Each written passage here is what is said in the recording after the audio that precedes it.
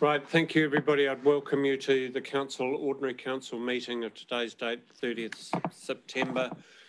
I will remind councillors um, that we are operating in, under both the COVID um, constrictions. So most of our councillors are online. We have in the room, in terms of councillors, I have my deputy mayor, um, Councillor Nigel Belsham, and the chair of assets, um, Councillor Dave Wilson. We have staff, but I only mentioned one at this stage. The Chief Executive Peter Beggs is with us. We have a public forum that we will start on immediately. So I'm welcoming Paul Sharland of the Bulls Museum and Russell Harris to be able to uh, present to us. They have sent something through to councillors, and I'll ask Carol if you could uh, share that screen. Uh, gentlemen, thank you for taking the time to come and see us. I know that it has been quite a long travelled route. Um, so thank you, and thank you for um, understanding that the COVID restrictions are in place. You have 10 minutes. How you use that time is up to you, Yep. um, but it also includes question time. Okay. Are you okay with that? Fine. Over to you guys. By the way, uh, for those online, normally we would start council with the council prayer. We have met this morning on another meeting, so that's all been uh, done. Gentlemen, the time is yours. Thank Thank you. you. Thank you, your worship and fellow councillors for um, asking us to make this presentation on what we consider to be a pretty exciting proposal, not just for Bulls, but for the whole of the Rangitikei. As you would have seen, you would have had, had a PowerPoint presentation. Is it going to come up Yeah, on? any second, sorry. yeah. It's, it's in two parts. The, fi- the first part being the, the Bulls Library building and the second part being the Chris Amon statue. So just a little bit of information about the library building. As you, as you now know, it's, it's vacant. It's a historical place category two. And the advantage of that is it does attract National Heritage Preservation Incentive Fund. So we may be able to get some funds out of them for certain things. The Memorials Register New Zealand online record records the Bulls as, a, as the Bulls Public Library War Memorial Building. So that's got a bit of significance. The record of title under the Land Transfer Act 2017 states, in trust for the benefit of the public as a site for a public library and reading room and for the benefit of the public for other such purposes. That again fits what, what we're trying to do. And in 1917, McElwain's erected the building, and just as a bit of information, the walls are of Caramated concrete, which is chambered concrete, consists of two walls of concrete bound together at short intervals. The inner walls remain dry in all seasons, the top part of the outside of the building to be rough cast, and base smooth finished interior to be wainscoted. So that's just a bit of information about the building. So our, our, our proposal or request is that the council gift to the Bulls Historical Society the building at a peppercorn rental of a dollar a year on a lease in perpetuity of 99 years. It is our intention that we're going to create a war memorial building out of the building. We're going to shift everything out of, out of the present museum down into it, to it so it becomes a dedicated war memorial. And you may or may not know, but outside the building there is al- already a marble archway which contains the names of all the soldiers who gave their lives in World War One, who came from either Bulls or the surrounding districts. So that's that's what that's what our intention is. We'd also like to include RNZF, RNZAF Ohakea, and we've already had um, interest from from Waiouru Army Museum and Linton Army that if we did it, they would be quite willing to assist us what we're going to do. So it's quite a bit of significance. The, the position of the, of the library, as you know, it is is, um, is just down the road from the RSA, just across the road from the Bull Cenotaph, and only a few metres from, the, from our present museum anyway. So it's, it's very well situated. The other, the, the foot traffic thing is that it's right next door to the chemist and it's, well, it's in between the chemist and the doctors. So there's, there's people going backwards and forwards all the time. There was also a light already out there, which we could, we could easily utilise because the power's there. So if we wanted to put some nice lighting in for the statue, it's actually already there. So it, it um, it's got a, it's got a lot of good things for it. We will be responsible for the insurance of the building, any earthquake proofing and general maintenance. And the earthquake proofing, uh, proofing, I believe there was a, a report done by Kevin Connor and Associates, Kevin O'Connor, back in about 2013, which, as he said, I think in his report, that it's a very superficial. So we would get our own individual expert in to have a, have a look at the building and see whether there's, there's anything needs to be done. And we're quite, quite positive there's people in Bulls that if things need to be done, we will get plenty of assistance. There's plenty of retired builders and all sorts of people that will give us assistance. And we've- already had support from the community saying that if things need to be done, we, we're quite happy to do it. So that's the, um, that's the, the, uh, thing about the, the, the library. And, and again, it's, as we said, it's close to the cenotaph and it's close to the RSA. So it would be, a- it would be a good thing to be done for the building and it would be great for the town and, and, uh, well, the whole district really. So that, that's stage one.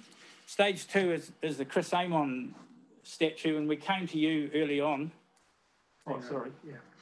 We're looking the way. Right, We came to you early on about, you know, putting it round by the, the green space at, uh, at the town hall, but it's, it's not suitable. We've decided now this is, this is a far better place to put the statue.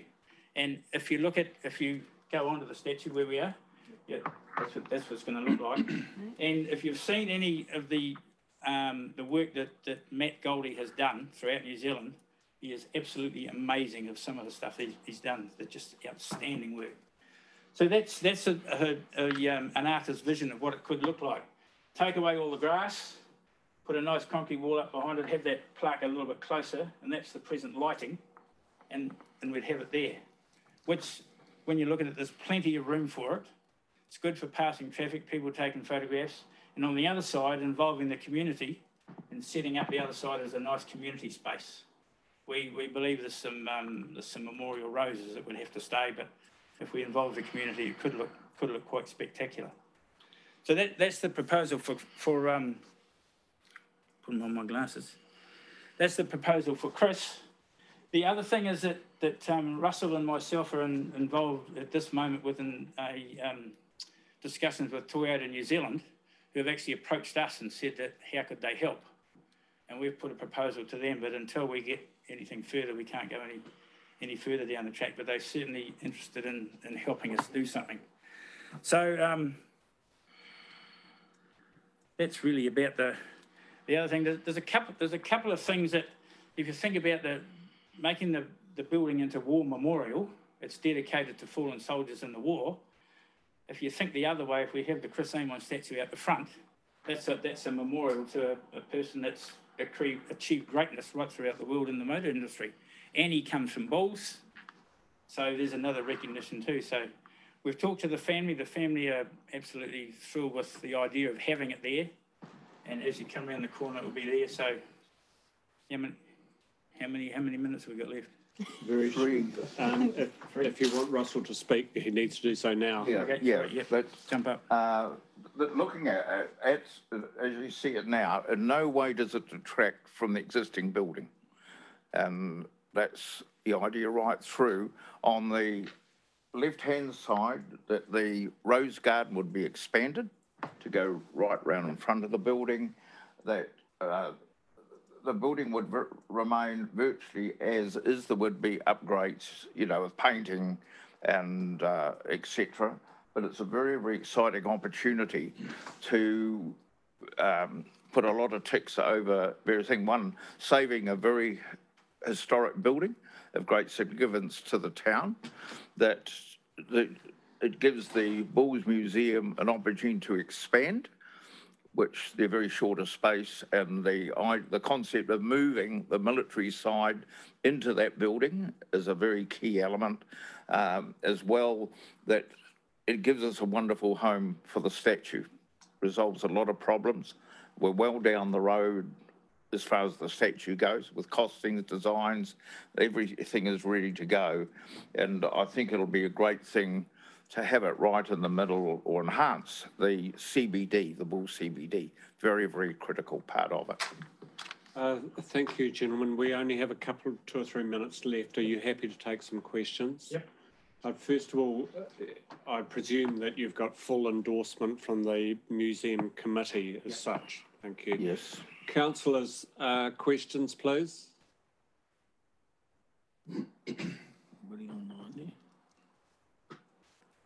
No.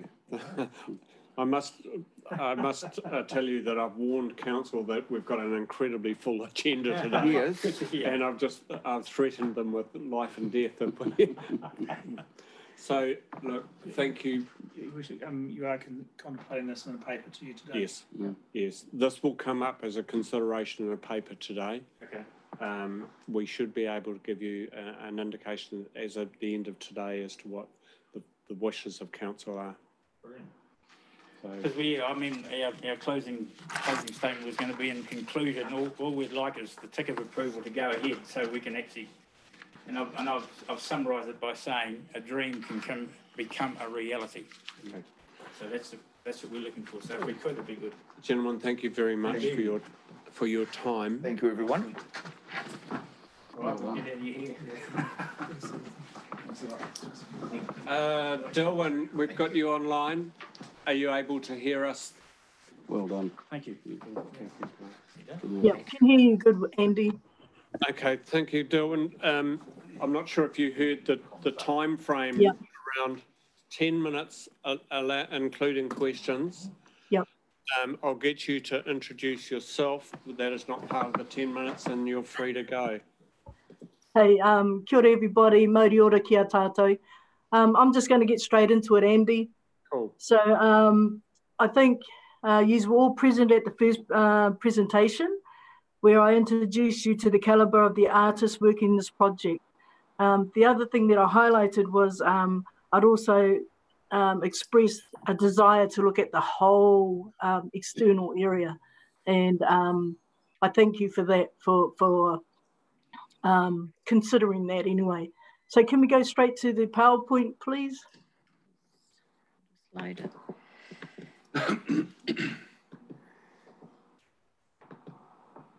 So while we're waiting for that, I'll just carry on talking. Um, so I just want to introduce you to our kaupapa, or the window that we're looking through as um, Ngāti Parewahawaha artist. Can we go to the second slide?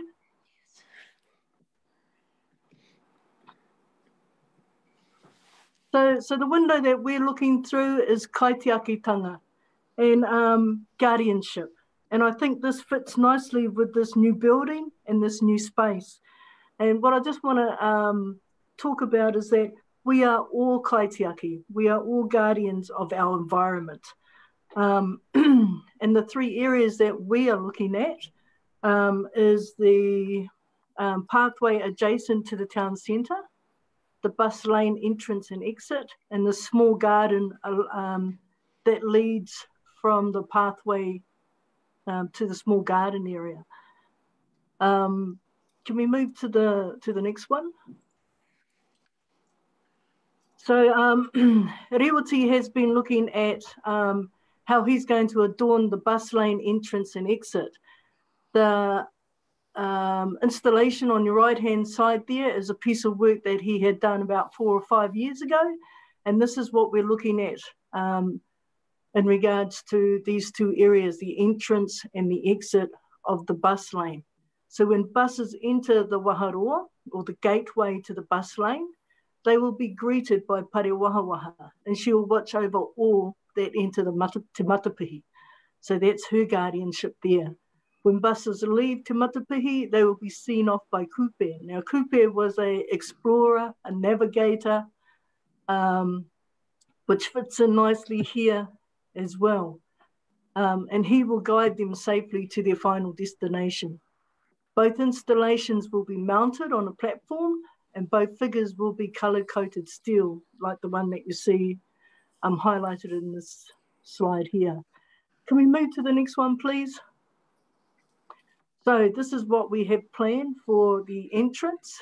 Um, so the top um, plan there, where you see the um, Dalzell Street and the bus, opposite that first bus there, is where we're looking at placing Parewahawaha. And we're looking at that as a, as a or a gateway into the space.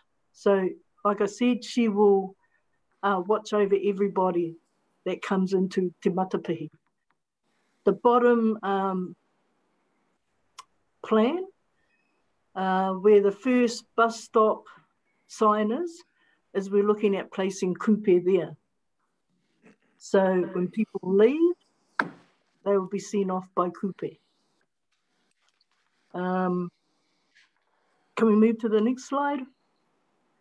So um, PIP will also be looking at, we'll be looking at three Perspex suspended installations, which um, will embellish the pathway adjacent to the town centre.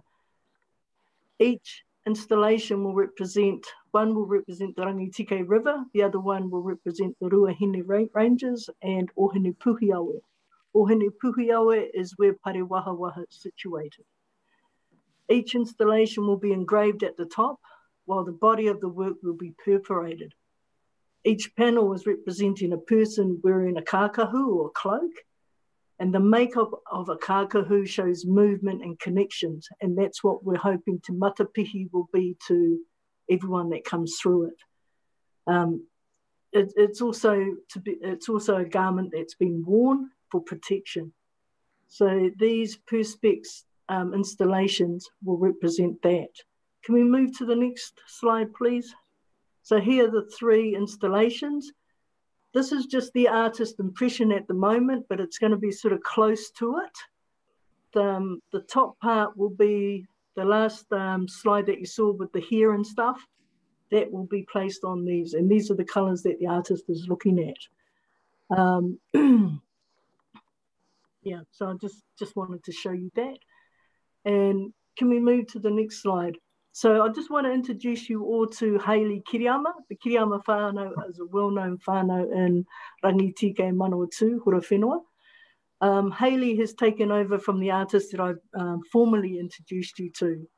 Um, he had whānau um, mahi going on that he needed to complete, so he withdrew, and we were lucky enough um, Hayley stepped up. So Hayley is a graduate of Te Wānanga Aotearoa. Um, his practice is entrenched in his cultural knowledge. Hayley was lucky enough to be one of the last students under his uncle, who is a well-known carver, Kelly Kiriyama, um, also known as Whitu Marama Kiriyama. So I just wanted to introduce Hayley to you. And as you see, there's the pathway that Pip will be adorning. Um, at right at the end, there's a small garden area. That's where the Pouwhenua will, will be um, placed. Um, thanks to Andy, um, Hayley got to have a look at two po or, or two totara logs. One wasn't any good, and he believes the other one is.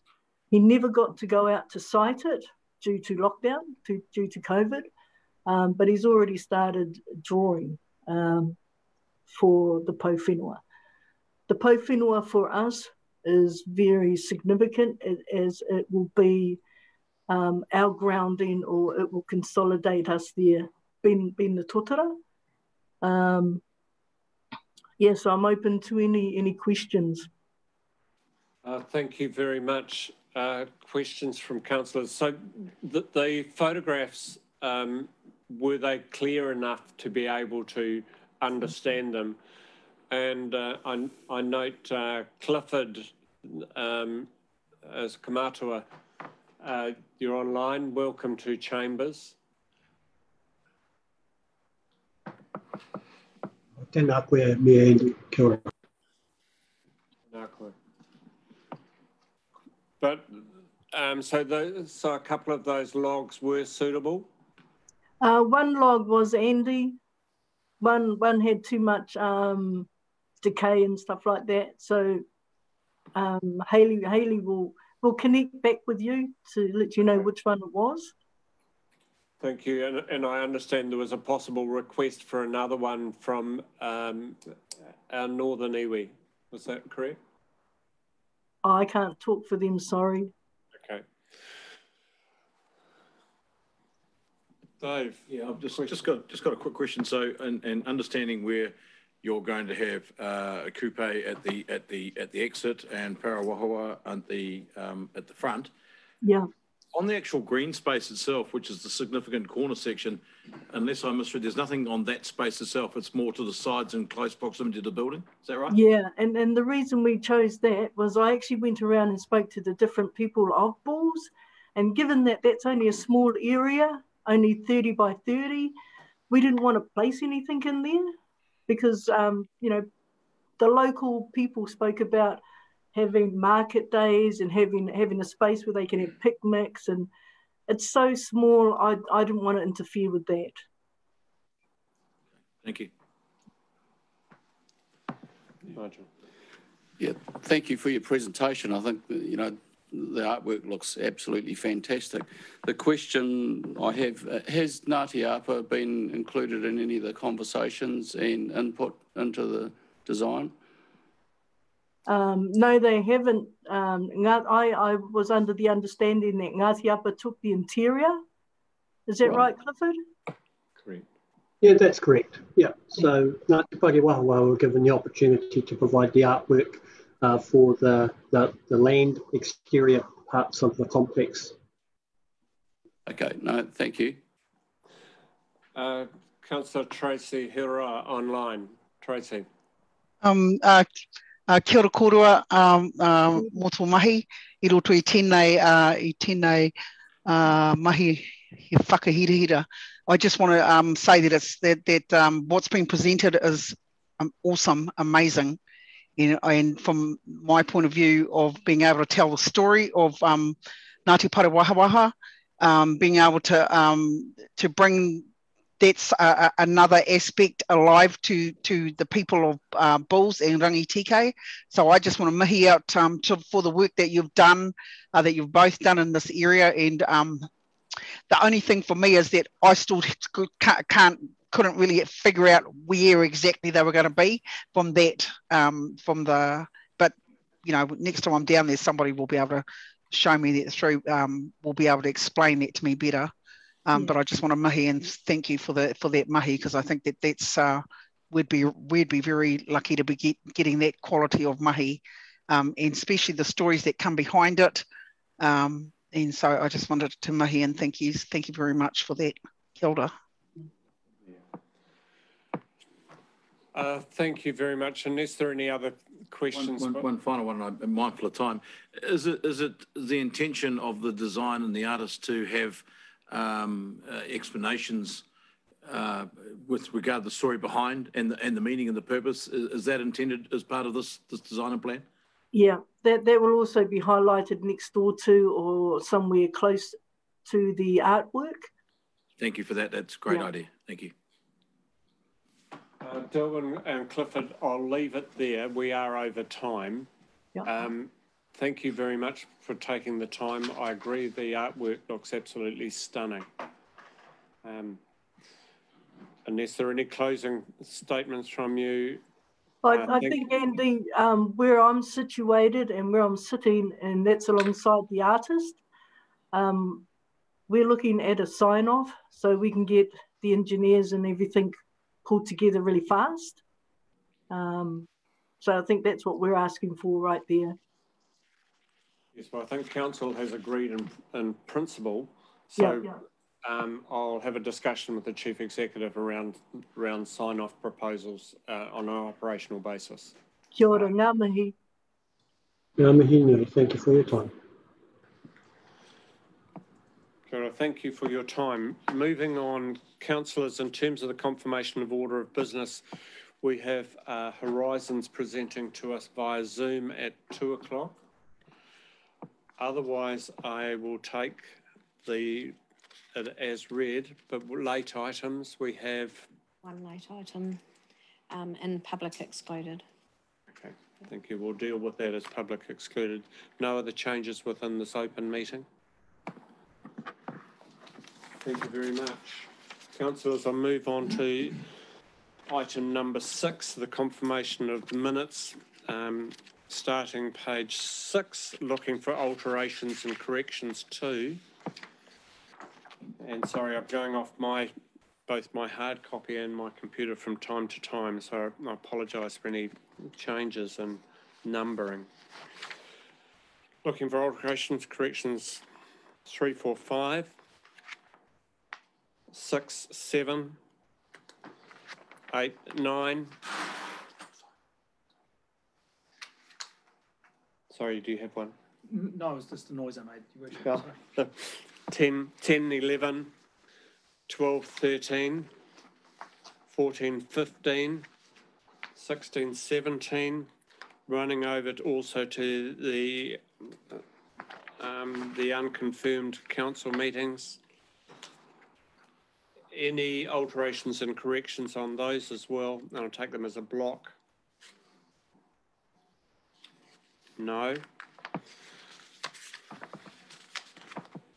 Would somebody then like to so move? Be recorded. Thank you, councillor Belsham, councillor Wilson. Those in favour? Those against? Carried. Thank you very much. Moving to item seven, this is the follow-up actions from the previous meetings. And I'll pass over to Carol or Ash? Carol. Um, I'm just happy to take any questions if there are any. Thank you, your worship. Well, while we're thinking about that, would somebody like to move the receipt, please? Looking online, councillor Hiroa, councillor Gordon, those in favour? Those against, carried. Thank you. Could you take us through this, please? Um, I'm just, I'm happy to take any questions if there's anything arising out of um, what's presented. I'll note that the letter of congratulations to the River Catchment Collective on their work um, has been sent and that Mr Rankin has also received um, a letter of congratulations. It's an action coming out of the 26th of the meeting. Any further questions from councillors?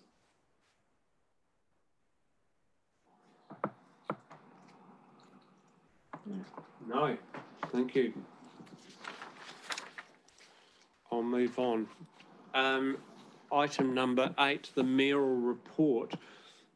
In light of the warning I've given to councillors and staff about the time frame today, I'll definitely take it as a tabled report. But I will note with that, um, I attended in the, uh, the Marton Christian Welfare AGM on the 27th.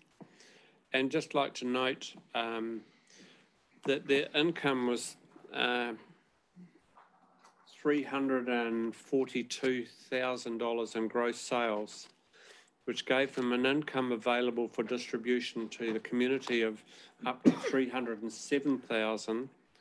They distributed 180 odd thousand dollars to the Marton community.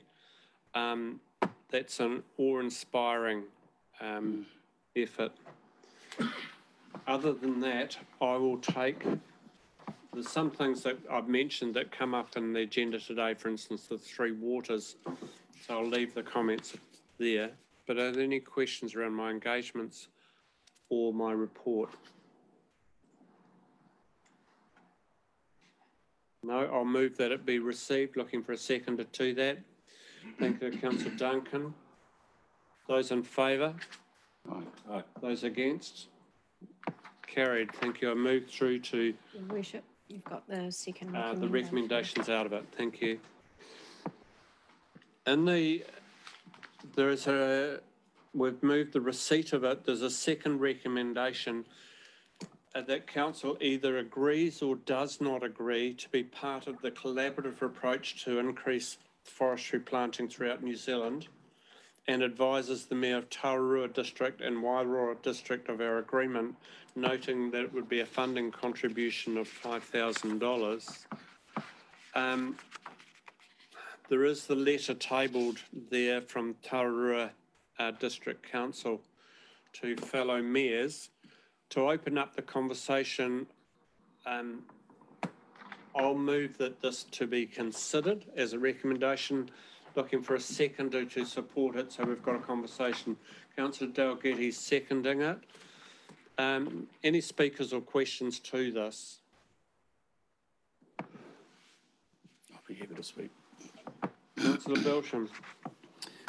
Yeah, after reading this letter, I mean, we're in a similar situation to these districts where, uh, unfortunately, some of this forestry planting is starting to um, take place on some productive areas of land as well. And it's, it, it is a concern that large corporates are taking the use of available space and utilising parts of our district just to plant in forestry to get carbon credits.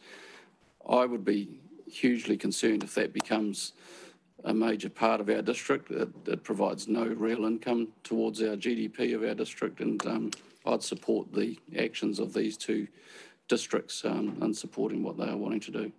Get a collaborative approach, um, feeding back into central government. So you're speaking in favour. Uh, Angus, No, councillor Lambert. oh, councillor Lambert, sorry, Richard.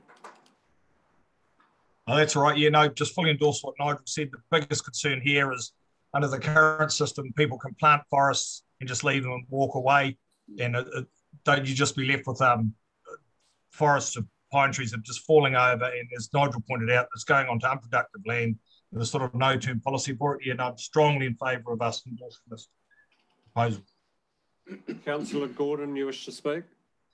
Yeah, I, I'd encourage whatever communications we become part of that we're quite objective um, in what we say and what we sign up to.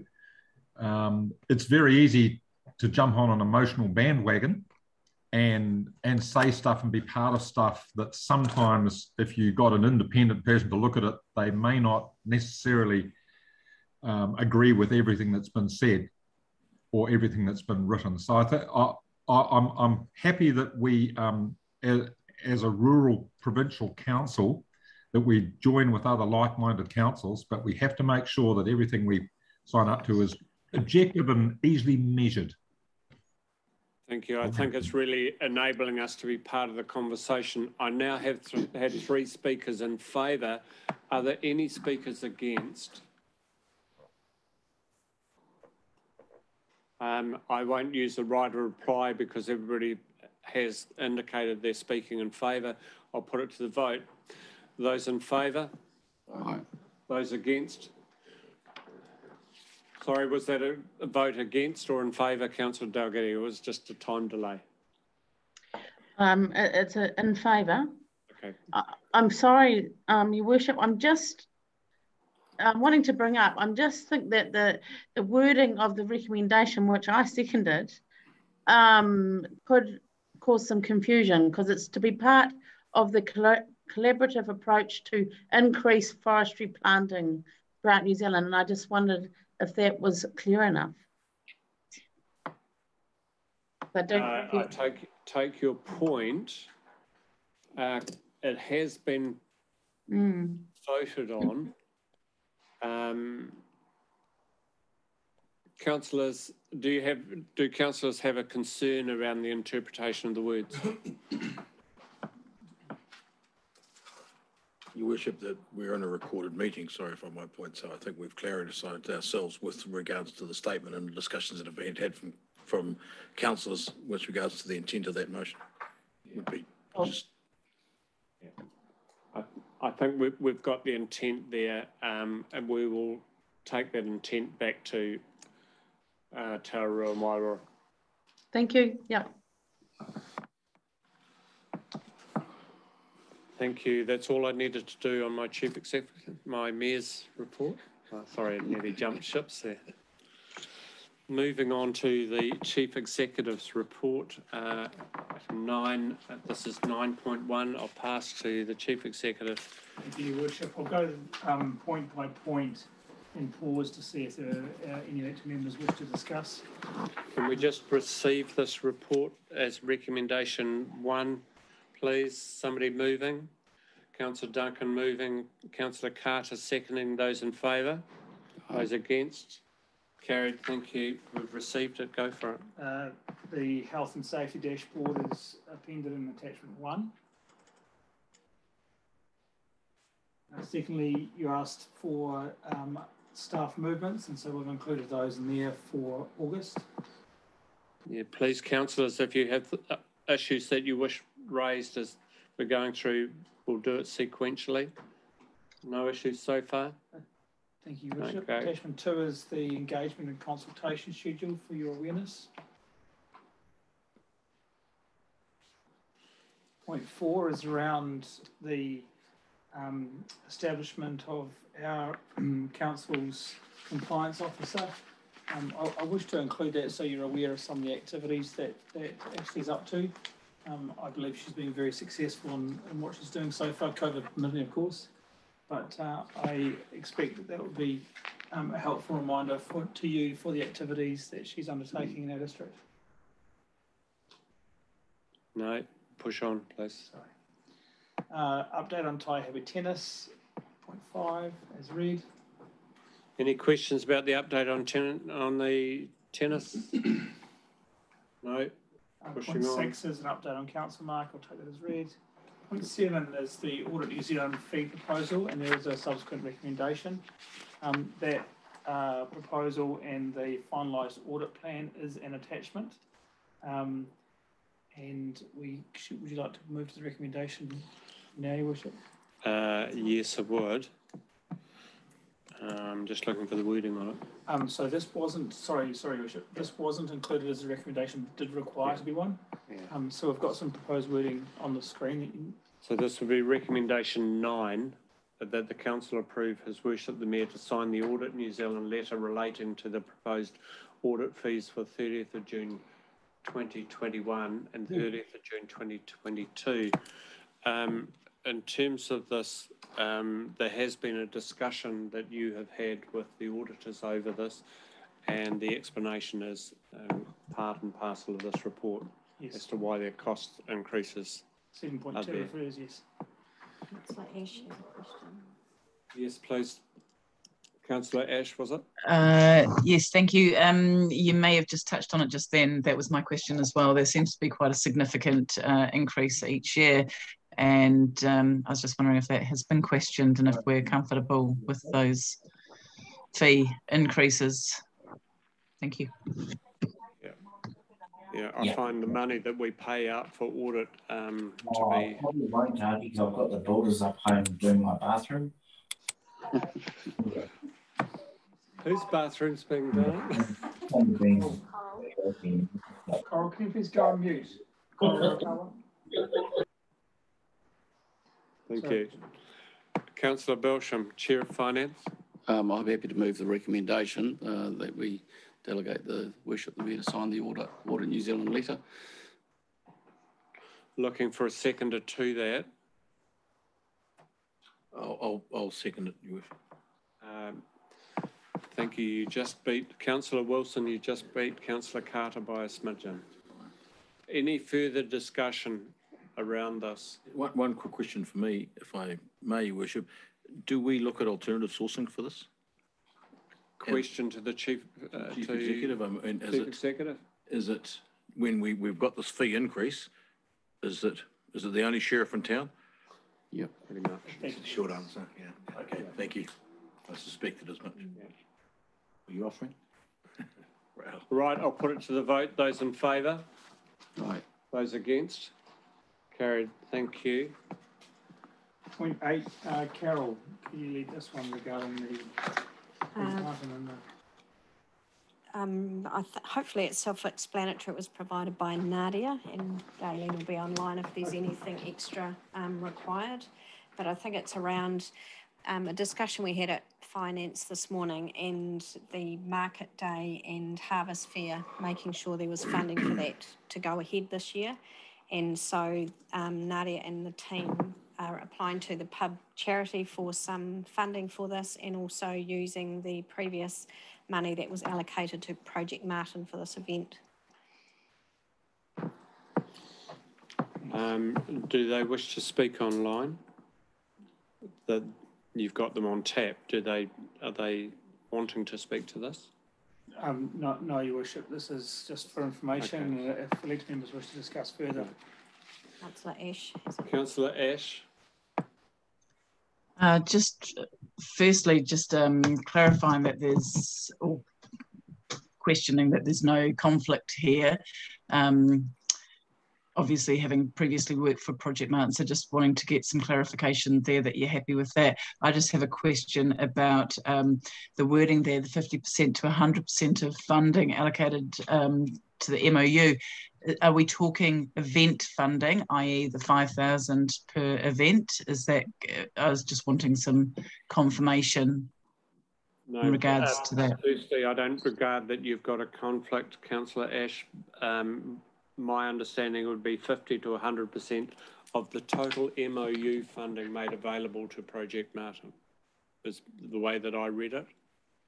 Uh, That's how I read it, but I didn't think that that was quite right, given the MOU partners get five thousand per event. So just yeah, wanting wanting clarity on that, please. Just wonder if Gaylene's got any extra information. Gaylene's coming on now. Yes, um, yes, I, I agree with his worship in that it was fifty to hundred percent of the memorandum of understanding funding. A question from me, uh, Ms Prince, are you happy with that? Yes.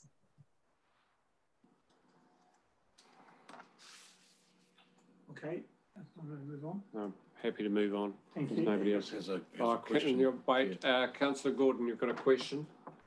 Yes, I do. So does that mean that any other events that Project Marton would have undertaken if it had been in place are no longer going to be undertaken by council staff? Um, does staff want to reply to that? The staff were considering the key events that Project Marton had been running. Um, we were, there's a possibility another group may form and that is being monitored. At the moment, um, there's no, we don't have any other groups who have put their hands up to take on these roles. Supplementary question, councillor Gordon? My, my question was really framed around the fact that if you're going to spend all of the allocation that was previously given on one of the projects, does that mean that the other projects effectively are not going to go ahead? That, that would be correct. Okay. Does that raise any subsequent questions from councillors? Uh, Only possibly for me, if I, through you, your worship, that the fact is that um, council has come forward and said that in, with the demise of Project Marton, until such time as an alternative organisation can, can stand up to take these things, which we would, would be done with our support, as the council has indicated that it would take on these projects. And therefore, there is a cost to council to do that, not only in cost of the funding, but it is time and cost and labour and, and other staff times associated with it. So I think it is highly appropriate that the cost funding to get those sources, um, uh, those, those events done externally by an MOU is appropriate, that they are used internally by council to do that until such time as an organisation um, comes to do it. And, and I, hopefully we can, we can do everything that Project Marton did. So. Um, in light of this, um, councillor Ash, my understanding is often the case where the MOU partners will apply as part of the MOU, as part of the MOU application to apply to one event. And there may well be the opportunity, for instance, we obviously have Market Day and we have Harvest Festival, for example, that there could be an application to events funding as well. As is the, as is the case in other districts, other parts of the district, sorry. Councillor Duncan. Uh, yes, um, just on what Councillor Wilson just said, uh, until such time as there is another group, it says in here on page 41, for the next 12 months while a new group is established. Um, is that from this date? Uh, I would suggest that in fact that should be a year from the date of disbandment rather than just um, from now, I, because I do see this as being a significant cost and time and effort for our staff. So I'm just asking, is that, is, does this mean for the next 12 months while a new group is established? Does it mean until such time as Councillor Wilson said, or could I request that in fact it would be fair to say from a year, a year from disbandment, which would cover one year's worth of events? I guess councillors, would you be happy if an action that came out of this meeting was that there was a report that came back to council clarifying this whole uh, situation of what events would would potentially run, where council's responsibility lies, etc. Uh, councillors, would you be okay with that as a, an action coming out? Thank you. Do you wish to have a motion recording that? uh, to the Chief Executive? Uh, no, we can just take it as an undertaking, Your Worship. Just want to make sure that we have this worded correctly. Thank you. I think Galen is. Oh, oh, sorry. Here's a report for the October council meeting regarding Project Marton. Or do you want to finish, Your Worship? And community projects in Marton that they've been responsible for.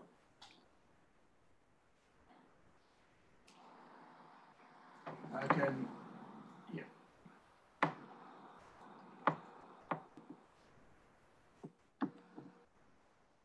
I'll leave it there, leave it. Okay. Thank you. Thank you. I'll push on, please. Uh, point nine is regarding the, the attachment you'd see regarding the request from the Hunterville Sport and Recreation Trust. Um, there's some analysis will be needed on that. We'll report back to council for the October meeting. Um, there'll be a number, I suspect there'll be a number of questions around that. I'll go councillor Dalgety, councillor Ash, councillor Dalgety first. I- I'd just like to, um, a conflict of interest. I'm the chair of the Sport, Hunterville Sport and Recreation Trust. Thank you. Uh, If it comes to a vote, then we'll um, exclude you. But are you, you may well be called on to provide, um, in effect, expert evidence to us. Mm-hmm. But I, I note the conflict and the records will show it. Councillor Ash. Yeah, just a quick question. I absolutely love what um, what they're proposing to do. I think it's fantastic. So if we were to take this on, is there an opportunity for us to actually um, apply for external funding? And is there an opportunity? Would it be? Um, I might have just answered my own question. Is would it be considered double dipping if we were to be applying to say Duddings um, to help fund it, or or obviously we've missed Duddings, but similar sort of things. What are our opportunities for external funding to ensure that this work goes ahead? Um, yeah, no, I'll go to you first. Uh, I, I, I think this is a request from a trust to council. If there are other opportunities, my, I would anticipate that the trust would go to those other, um, directly to those other, um, sources of potential funding. The, the question that I'd have of you, councillor Dalgety, is um, one of timing. So if we referred this to an October meeting, does that mean that work that you currently have planned and possibly time-framed, does that mean that there'd be a duplication of costs or a swim season impacted by waiting to a decision until October? Can you give me some advice around that, please? Yes, I, I believe it, it would. Uh, um, we would normally be starting in um, pro- probably mid-December due to the, the delay in the build at the moment, but that's when we would anticipate opening. And so we would hope that, you know, everything's finished by then. You realise that the request would be uh, a request for unbudgeted expenditure of, of $120,000. Yes, I, I appreciate that. Uh, this is capital w- works. Not a lot has been spent on this pool in my lifetime, and suddenly we're trying to do two significant projects: rebuild the changing rooms, plus renovate an 88-year-old pool, and all the pipes and, and, and confirm that all the pipes and everything under the concrete, which we can't see, are okay. So, so there are, we're basing our estimates on last year. We did a third of the pool for around that 54,000.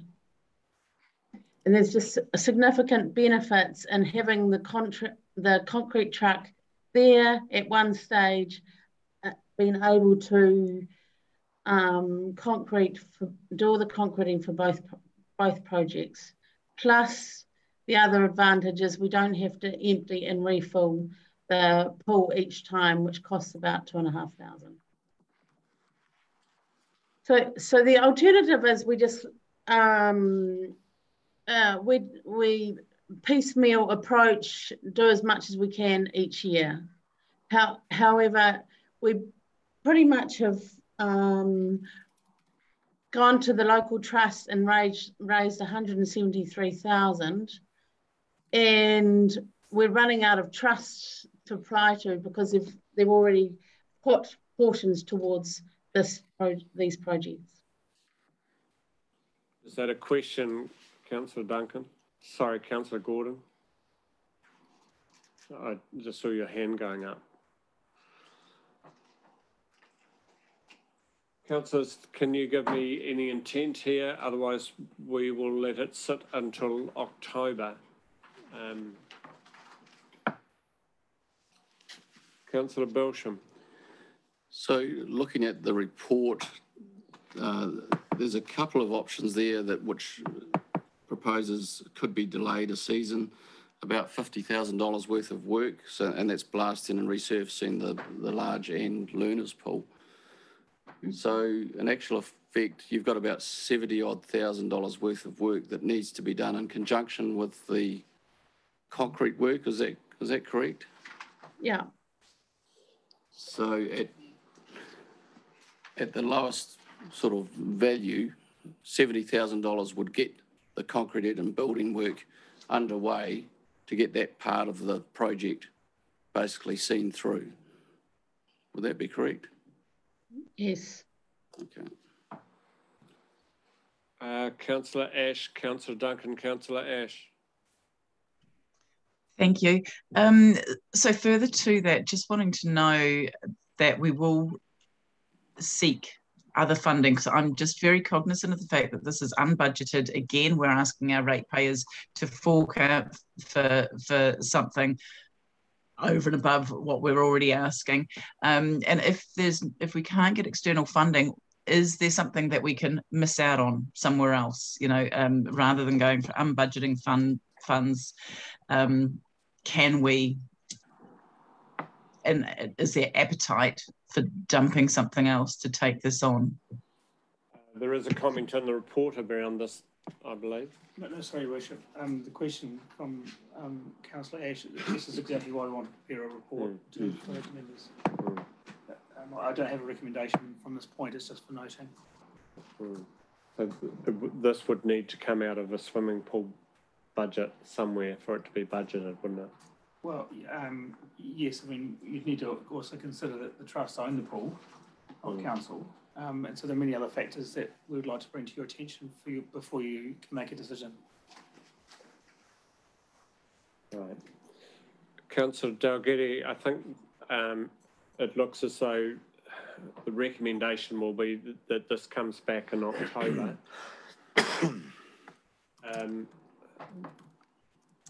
does that mean that you will or won't start work that you are currently have funds to do? What will be your position? uh, well, we will, uh, we, we have demoed the changing room, so in the, we will be continuing that. And um, we, we still have applications um, to, uh, to two other outside trusts. Um, and we can keep our fingers and toes crossed there. We can go out to the public and explain our situation, yeah, and see if we can raise further, any further funds here. I just uh, ask the, the finance team, the chief executive around, you know, with this sort of thing, is there a possibility of us effectively loan funding or um, doing something like that and then considering in an annual plan later as to whether we had the um, direction to to write off loans Uh, the short answer is we got sufficient headroom in our debt um, capability that we could debt fund lots of things at the moment. So, uh, as in um, mechanically, can we? Yes. Uh, get debt funding for this. Um, it then becomes philosophical. Is it the thing you, you want to do?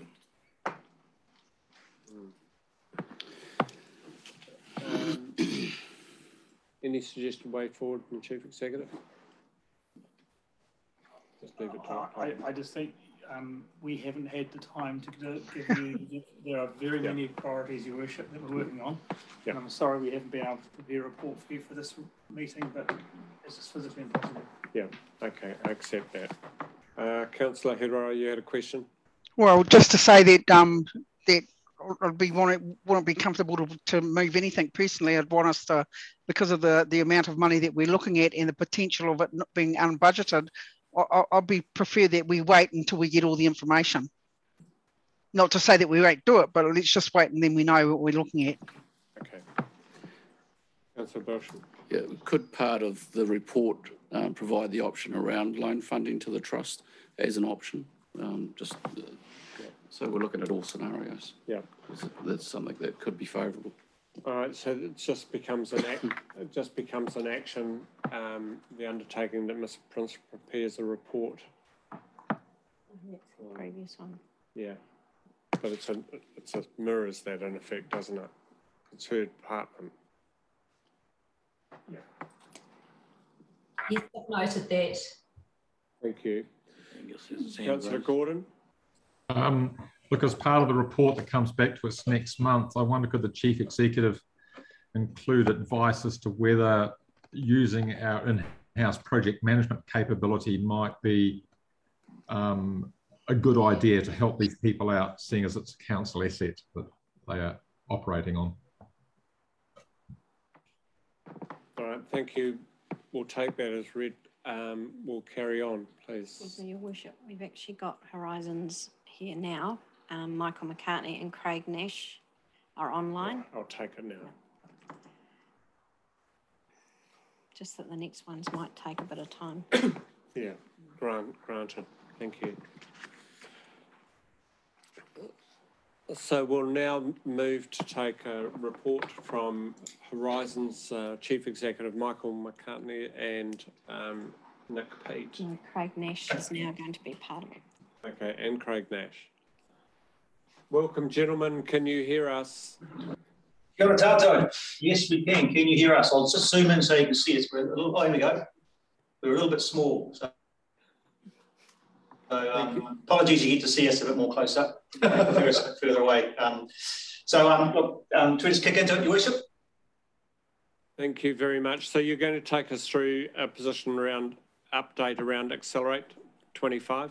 Yes. So, um, so first of all, uh, kia koutou, everybody. Thank you for the opportunity to talk to you, um, and although be in a virtual context around Accelerate 25. So, Craig Nash is with me today. So, Craig and I have been doing a series of presentations prior to COVID too uh, around the TAs um, and just updating councils on where uh, Accelerate 25 is currently at and where it's headed.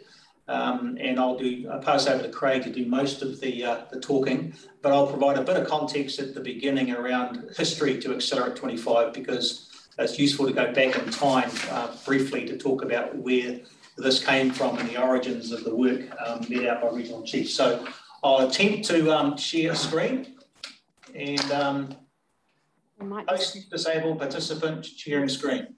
We're just setting up so you can do that. So if you bear with us for 20 seconds. We'll do that. Right, if you try again now, Michael, you should be fine. Awesome. Right, can everyone see that? Yes. Thank you. Yes. Okay, so um, as I said, we'll, I'll pass over to Craig shortly. Just just by way of introduction, though, um, Accelerate 25 originated back in around 2015. Um, and for those around that time, you may recall there was a, a by-election in, in, Northland that surprised the government a little bit around the impact of regions um, and the role of regions in terms of the political dimensions.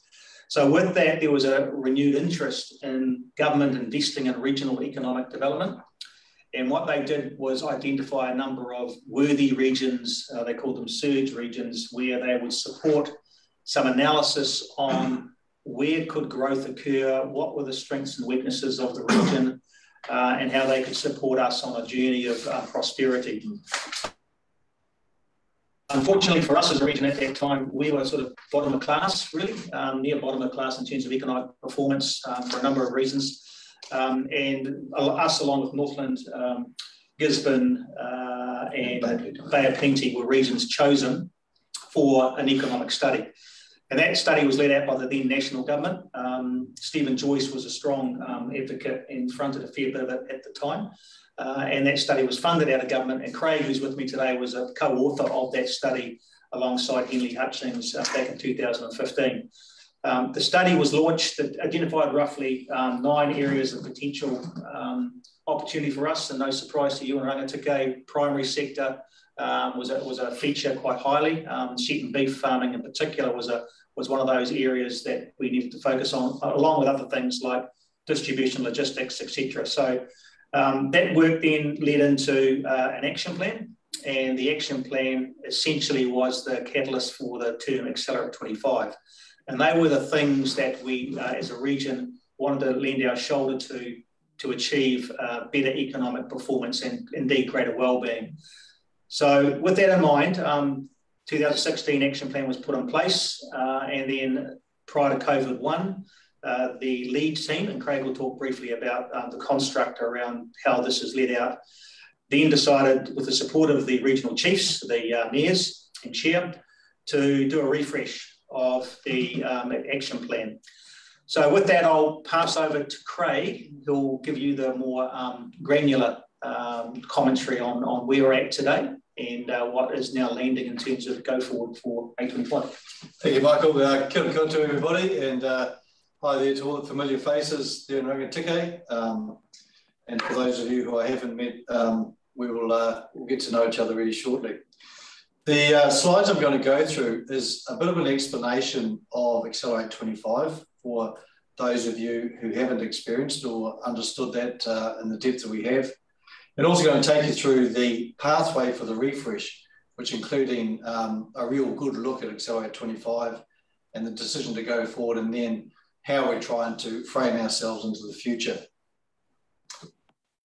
So um, our first slide, this one really just gives an overview of the environment that we have or how we get ourselves organised. The sponsors for Accelerate 25 are the regional chiefs. So those chiefs are made up of the CEs and the mayors of the eight councils within our region, the seven territorial councils and, and the regional council and chair.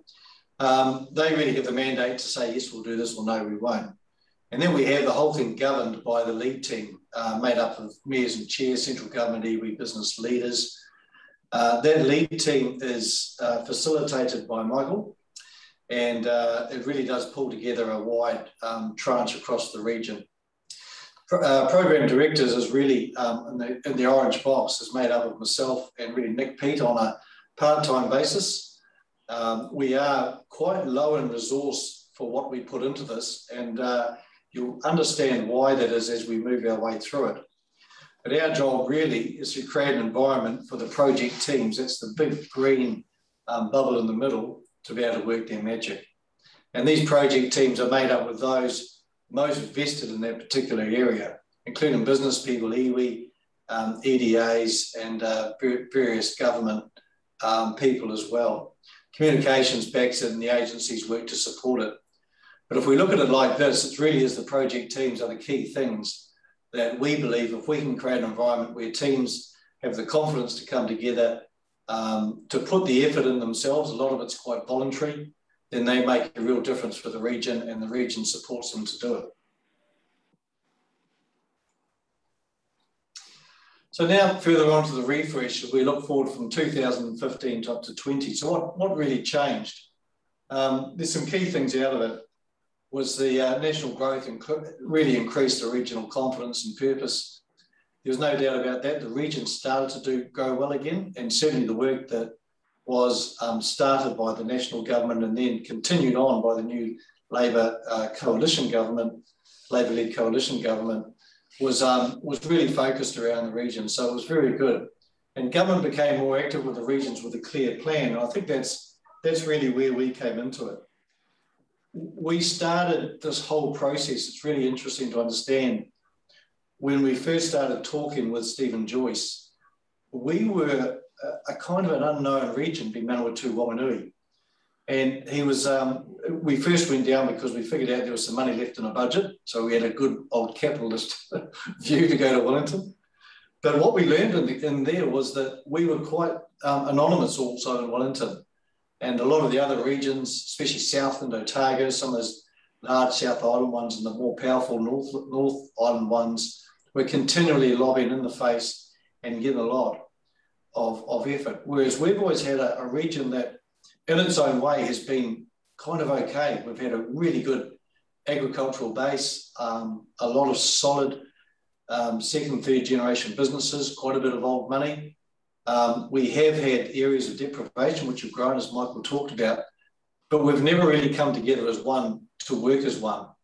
And part of the reason too is I think if you look at our region, um, which stretches way out past Taumarunui down to uh, just north of Otaki, and then over to the eastern seaboard of, of uh, Tararua and Southern Hawke's Bay, and then the, uh, the western seaboard as well. We really are diverse. We're the third largest region in New Zealand with land area. And uh, we sort of figured that we were a little bit like Central Districts cricket. And that's the district you get when um, all the other pieces don't sort of naturally form into one. You sort of have a miscellaneous one that all comes together. And that's kind of how our Manawatu Whanganui region was. And, and we acted that way for many years because we didn't really have a lot to do with each other apart from probably competing. So this was a, this was a big change. One of the first steps we had to do was convince our region to come together and work as one. And the definitions of that was to say together we can achieve a whole lot more. And if we do, we all share in the success. And I remember that particular meeting we had, and Andy, you would have been there. It was put forward and with a bit of bullying from the chair, I think it was John O'Naylor at the time. Um, the region suddenly saw if we do this, we can share and we will work together. We then were granted the, um, the economic study that Michael talked about, and we were 16th on the list out of 16 provinces or regions, and we went up to number three to have ours done. So it really worked. And a big thing about our, our, our outcome was to actually not so much solve any major problems that our region had, uh, such as the East Coast, Northland. They had a number of um, isolation issues and, and almost uh, dysfunction issues, but ours had a lot of potential that we could unlock. So our commitment was to unlock potential versus solve a major problem. It's a little bit different for government. So over, over this period, um, we served to do it. Our, our growth study at the time identified nine different opportunities and four enablers. We worked diligently and hard through those. We built up teams of people and then tapped into the various government resources for funding and policy alignment and introductions. But mostly it was actually done from within the region and it worked really, really well. We went from um, a region that was disjointed and ignored um, to one of the regions that government have actually held out to say this is a way that regions can work together. And it's an absolute credit to the councils who put aside all of the competitiveness and came together to work as one. So, um, and we and because of that, we've accelerated our momentum, and we really have um, beaten the numbers over those last five years. So in the middle of this process as well, we were charging along um, with our refresh and, and we, we were about three months into it and this thing called COVID came along and landed on our, on our laps. So the um, energies of Accelerate 25 went into the regional recovery plan as many of you were involved with as well. One of the outputs from that was this graph that we pulled together to say what are the things that are going to help us pull ourselves out of a potential big downturn. The really comforting thing was, was that these are these particular projects are the ones that we've already identified and we're strongly within the Accelerate 25 framework. And uh, it, it's you'll see the axis about the impact and the, the sort of size of them. But up in that top right-hand uh, corner, they were the really big dollars uh, needed and the largest impact ones along the way. So a lot of those are around the infrastructure ones. There's the Ruapehu tourism, which of course has a good integration with the Rangitikei district. The Te Turanga Highway uh, connecting Manawatu and Tararua, and the Marton Rail Hub, um, which is one that's very important to yourselves, but also features strongly in one of the priority areas. So now moving on to um, the refresh. Henley Hutchings, who have become um, a really trusted partner for the region in helping us to work through things. Um, it, it, conducted our refresh for us. And the first thing they did was go out to everybody and, and get some feedback on what was going on. So um, the first lot was with stakeholders, and this was to a, a wide group of around 200 odd stakeholders. And the, the, the upshots of that were three quarters of everybody thought we were really moving forward as a region. Um, and that we could be more. They saw some leadership, regional leadership, as opposed to simply council um, leadership. So there was a sense of it coming together, and there was a, a request for more. They liked us having a plan, they liked us having focus and understanding the capability, and they actually really liked the success we had in the PGF. We were we were third in New Zealand, and we picked up nearly two hundred and twenty million dollars out of that fund across our region. So we performed really well, and they liked to see it. And, um, and so we went on then to the to the more refined um, uh, interviews, and that was with um, mayors and CEs, and those a lot closer tied, uh, attuned to it. So these are really the stakeholders um, within the middle of it. And uh, this slide here probably says it all. Um, was that that they really like our sense of combined purpose, and um, they told us that we want to have and hold an ambition for the future we want to be more joined up, have one common voice to government with no one left behind. And there was a real, a real camaraderie right from the, the largest city councils um, who really wanted to um, help and bring and understand the value of the more agricultural based councils. Um, more collaboration, sticking to our roles, but working together. Um, the importance of iwi to projects in our economic future, which is very naturally said. But this last one says it when we hunt as a pack, we're a lot more successful. And uh, we've had a number of instances where we have come together. Um, the mayors have joined us on um, to Wellington and Auckland um, that we've actually taken on board. And it's been incredibly powerful to have everybody working together instead of on our own. We're a region of nearly a quarter of a million people. We're in the middle of the middle part of New Zealand. We form a critical part and we really have a voice. And it, it's certainly um, been a lot better for all of us when we do that. Just to note, when we do this off Zoom in a, in a live um, a live forecast, everyone laughs at that slide, by the way, so don't hold back. okay, so then we goes on to um, so how would how would A25 then, being a low resource, how do we best um, focus our resources into the future? Um, and we really came down to these two things. Um, we are an enabling body. So the role of everything we do is to facilitate, encourage thought leadership, press parties to invest into the region. And the doing role in a lot of those projects is the organisations of councils, EDAs, business enterprises, etc. What we found that understanding those roles, how we play, and the best way to play has been a key output from the refresh, and we've got some real clarity out of that. We also learned that we really wanted to play to um, the strengths of A25.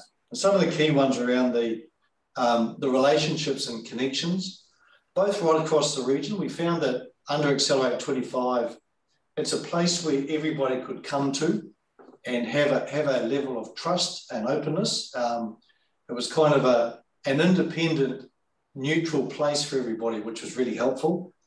And then we've worked really hard on our uh, our central government connections as well. Been supported well by central government. They've given us really great people to work with who have championed our region to all parts of government and provided a really good channel. So that's important. Um, assembling the resources um, have been incredibly important. We, we, do quite a lot of uh, building teams, initiating teams, bringing them together, helping get a chairperson set up, and then getting the hang out of the way so the team can do their stuff, but we're always there to help out and uh, solve problems as well. Providing a target down the left-hand side also is our big regional vision. And for us to champion that and hold it out there has had a, a much bigger impact and value than we had initially thought. And the one down the bottom was interesting, just building confidence. And if we look at so many of our teams, they work quite hard, but trying to get big government money is pretty tough stuff. And there's been quite a few times where our teams have given up, thrown their hands in the air, not knowing how close they were to getting it over the line. And uh, we've played quite a role in understanding that and just inspiring and, and helping to solve a few problems and get things over the line. So that's the, the strengths of Accelerate 25 which goes on to then into the future. How should we intervene or what's the best way that we can work? First one is getting things going. That's the identification of what are these big areas that we should work on. And within those big areas, what's the biggest thing that we could possibly do? So that goes on to two. And then connecting, bringing the right people to the table with a clear vision of what's to be achieved and helping to resource those teams and getting them underway. And then the second part of that is creating and, and continuing momentum by empowering those teams, operate themselves and, and just go like hand with a knowing they've got the support of us. And then that last point down there is around the stiffening of that resolve when the going gets tough to be a little tougher, get over the line, solve some problems, help get that little bit of extra work and keep that ambition high. So that's been the, the main um, focus areas for the lead team. We now move on to um, particular projects and how do we approach those. And I, I mentioned that just now. It's not really only just understanding what the big areas are, but really going into them to say, if we were to help here, where could we get the most impact and understanding those? And we've used this term called the acceleration zone. So if we understand where we are, where we're trying to get to, so what are the key things that we could work on together? and then rallying everybody to focus on those. So one example of those is in our transport and distribution.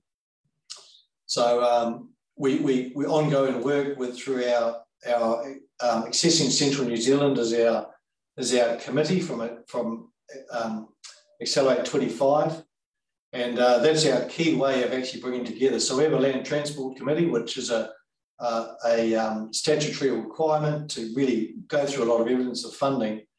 But Accessing Central New Zealand is really a, a strategic place where everyone comes together, make sure that all of our investments feed off each other and that every dollar spent in our region is spent wisely. So we get a lot of things over the line. We're at the we're at the front end when we're begging away for um, for government money. Uh, the Te Ahu a Tūranga Manawatu Gorge was a classic one where we achieved so much to create a central hub for our whole region that we'll all prosper from. There was a key part that we played, and now we stand aside and make sure those commitments from government are upheld. Um, and then, of course, our other ones and the Marton Rail Hub comes into that as well. So one of the outputs from that particular group, for example, is this map here. Now, this is a, um, a digital platform of all the large infrastructure projects to do with transport across the region. And uh, we have got the link for that, we're happy to recirculate that out to all the councillors. And I'd, I'd, encourage you to go in and have a bit of a play. Each of those circles has a, a great range of information behind them, explaining what they are, what they're trying to do, um, the sort of the size of the money. I think there's around $5 billion worth of investment in there, and they all connect off each other. When we um, went into bat for, particularly for Horowhenua, on the O2 and L um, highway to make sure that we actually got the funding for that. We produced this map and we went to government and said, we are really onto this. Here's how every council works hard in the region. Here's how it's connected. Here's why you should spend money with us because we're going to use it well and we use it um, with a, you know, bit of diligence around it. So that's just one example from there. As I say, we're happy to, um, to share that out. So on to the future now. Um, here's our, here's our, our refreshed area of priorities. And these are not absolute, by the way, but these are probably a, a summation of the key things we see at the moment. We recognise that these are always fluid and a number of things come along that we haven't seen in the past, but we need to be agile enough to bring them up when they are a real flavour. I'll quickly go through these. Firstly, the pillars. Um, or no, I'll start with the bearers if you like. And if you think about a house, the bearers are the, the foundation. There's no point in building a house unless you've got a strong foundation to build it on. No doubt the effective transport networks are incredibly important to help cement our place as a central dis distribution hub in the middle of New Zealand and everything else around it. High performing workforce has come up more um, and more and was actually adopted as the number one priority for the lead team back in 2017. So we actually commenced a quite a big structure across the region of um, how we do that. And we uh, introduced things called STAGs, which were um, they were regional workforce teams or committees that really focused on it. And now they come together under a government um, a government structure called um, regional skills leadership groups, which have gone right across New Zealand, but it was based off the initial work that we had done. So it's quite good to see um, that picked up as well. Um, the high-speed internet connectivity, so critical um, for our rural areas, not only the towns, but um, out into our agricultural areas where technology is playing a, much bigger role in raising our productivity. Uh, community infrastructure, and this is a new one for us. Um, how do we collectively look at our housing issues? And really, that's a that's something that's come forward from a lot of the mayors saying we're, we're going away on our own, trying to bang away against every other town or city to get our piece. But if we go as a region of two of quarter of a million people, we simply have a much bigger offering, and government have an appetite to talk and work with us as a region.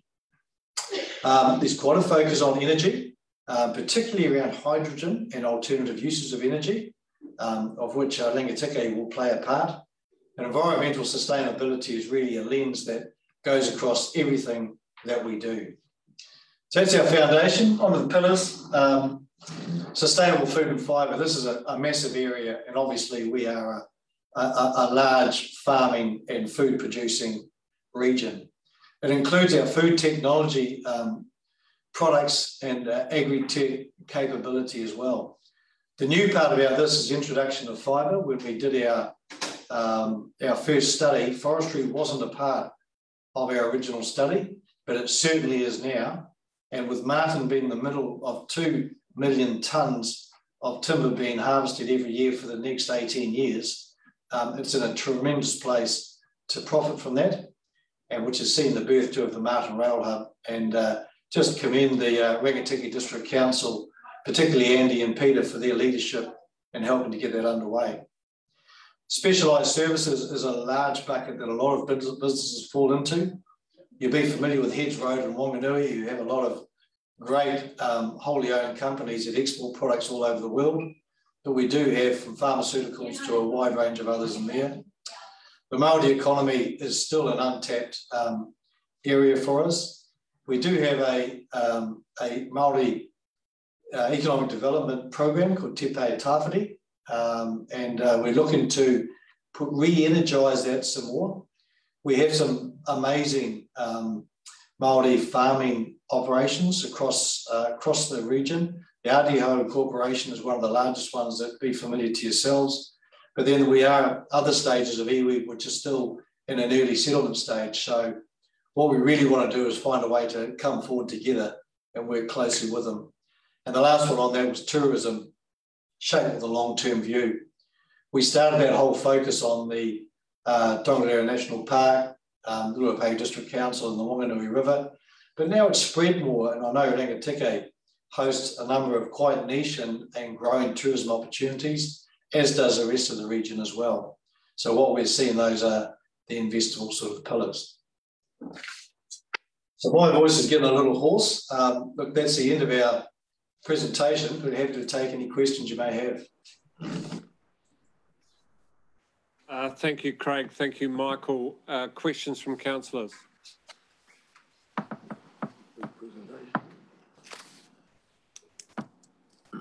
I guess, um, Craig, a lot of this, you know, has sort of dropped off the, the profile, if you like, through the through COVID in the last two or three years. And so there's a little bit of um, bringing people back up to speed with what has been done and where the future is. So this is a pattern that you're going to take to each council? Yes, we have. As Michael says, we are um, in the last stages now of, of um, informing councils and especially bringing new councillors who haven't seen the Accelerate 25 up to speed. we've just, um, th this has completed the refresh. Part of the refresh was to do a new work program and also a, a summary of all this. These have just been posted on our website. So if you go to the Accelerate 25 website, you'll find an example of that. And uh, shortly, we'll be launching a new website and we'll all be notifying you all by letters to direct you to that. So on that has a complete summary of the next three or four years of our work and how we're going to go about it. Thank you. Councillor Duncan. Thank you. I just want to say I found this very valuable.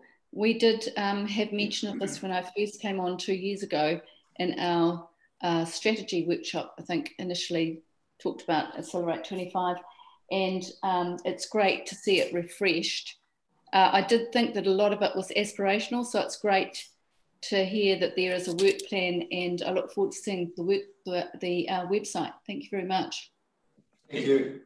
So Craig, will you also wrap in the stuff that's been done on the um, main trunk railway line, uh, passenger, etc., uh, the work that, for instance, Mayor Ruapehu Don is heavily involved with, and a similar body of work on forestry that Tararua uh, and Wairua have started. Will that fold into this to some extent as well? It, it certainly, um, that's included, the first part of that, Andy, is included in Accessing Central New Zealand. Um, that's how it taps into there. So we have the environment where all that's included. Um, and the uh, forestry is included in our in our larger forestry uh, aspirations for the region. So the point on the on the transportation is quite important. I think, um, Andy, as you've witnessed, taking that um, the image that you saw with the bubbles of various projects to uh, to government and showing how things are integrated has, has been a powerful tool because often government officials and MPs and ministers look at project by project so I recall um, uh, on the, the, the, the, cusp of losing Otaki to North Levin, where the mayors went to meet with the minister and put up that picture and showed the connectivity of all the transportation, rail, and roading infrastructure planning that we had in place from a spatial point of view was a very powerful tool, uh, and we believe was instrumental in, in um, victory being brought from the tools of um, defeat on Otaki to North Levin, to the extent now that um, that project's um, hopefully due for completion by 2029. So, mm. um, you know, we have, as Craig said, um, $3 billion worth of roading infrastructure for our region, uh, along with other infrastructure like Wanganui Port over the next five years. So our biggest challenge, to be honest, um, in terms of the space is labour. Skills and talent is our biggest challenge. Um, and uh, that's what we constantly hear from industry is getting talent. And it's a New Zealand, if not a global challenge for us all. So that's probably the main area we're focused on. Thank you. We are tight for time today, so I'll take questions from Councillor Gordon, Councillor Hiroa, Councillor Gordon. Angus, go ahead. Yeah, uh, thanks, Andy. Um, Michael, just on the transport thing, one one thing that bugs me is the disjointed nature of previous government spend in in the central region that we're in. You know, we've got an electrified train set that ends in Palmerston North and it goes through the Hamilton, but it doesn't connect to the south or the east and the west and we've got similar things with the quality of our roading. You know, you mentioned OT, OTNL. I mean, there's all sorts of examples like that. It'd be really nice if we just had some of them that joined up and had the similar quality of service.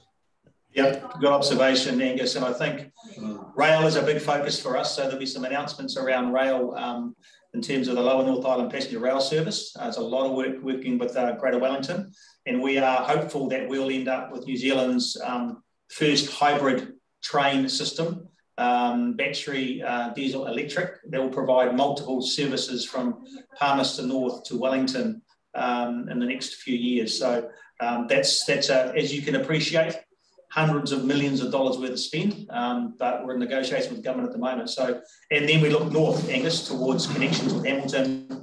There's a whole lot of mayors and the chairs of both Wellington region, uh, Waikato and ours focused on that rail network to be linked up as well. So, um, yeah, I agree with you on the roading issue. It's a difficult one, but you know, the agencies we're dealing with there can be challenging at times, but we'll keep keep going.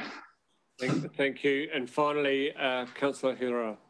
Uh, kia ora. Um, I, I just uh, um, a mihi to you both for um, the presentation what I'd like to say about it is that it's a really good example of um, when you when you'd put up the picture of the herd and the lion tasting it, the whole thing of collaboration and how that how um, you know uh, in some instances it can be you can give those sort of presentations into like within a council space but actually if people if um for the ratepayers and our our you know for people to actually see and and hear and understand the benefits of working together and what that what that can do um, i think that this uh, presentation is a really good um, example of, of of how that can be um, put out because the reality is, that we are in a space where collaboration isn't necessarily uh, in some areas, not really where people want to go. But I just wanted to mihi to the work that you've done. Thank you. Got it. No, thank you. Uh, thank you, Michael. Thank you, Craig, for today. Um, we need we need to push on. Our agenda is about 10 feet deep and we're only about a foot into it. Okay. Thank you, Worship. Thank you, councillors. Matua. I'll pass back to the Chief Executive to continue Councillors, we will take a break at three, um, but we do need to be fairly um, succinct. Peter.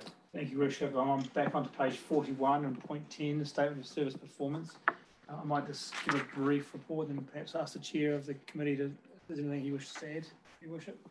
Sure, go ahead. Uh, for me, the statement of service performance um, was a, uh, a disappointing read, but I want to uh, consider that, or the meeting considered that disappointing read with a couple of things. Firstly, um, that the deliverables of the SSP and how that is um, uh, has been agreed by council as at the start of this LTP process has considerably changed. Uh, this was uh, an SSP that was agreed um, 18 months ago um, there were some items that uh, are physically unable to be achieved. Um, there were some that we struggled to achieve. There were some that uh, council staff measured differently in the way in which we uh, calculated our, our measures, uh, and, and, some of them we haven't done well enough. Um, and I think as a summary, that that's there's a, a number of combining factors. I have a great more confidence by the workshops that we've had with staff about the measures that we have put into this year's SS uh, Statement of Service Performance, how we are going to measure those. Uh, and you may see uh, some, um, or you would have seen at, at, the meeting where George presented the, a dashboard of how we intend to present that both to you and to uh, the public. Yeah, uh, thank you very much. It was fairly sobering reading. I'll, because it came up in finance, I'll pass through to um, Councillor Belsham, Chair of Finance, and next, Councillor Belsham. Thank you, Worship, and thanks, Peter. Um, yeah, there, was discussion held on this this morning, and it does, at first glance, some of the measures um, certainly show that uh, there's a lot of not achieves in there, and and when you delve into the background, um, the potential for this council to achieve some of them just was pretty much non-existent. It only took one minute um, failing for it to be not achieved. So I think certainly the council through the um, long-term plan process has acknowledged some of the relevance of some of those measurements and the non-relevance of some of those measurements and a, and a good plan has been put in place about producing some relevant outcomes for the next LTP period. Um, and I think the public can be um, confident that the new reporting process will give a better understanding of how council is performing. Um, yeah, this this most recent SSP has been, um, yeah, in some areas hasn't had a huge amount of relevance, and I think um, we all agree with that.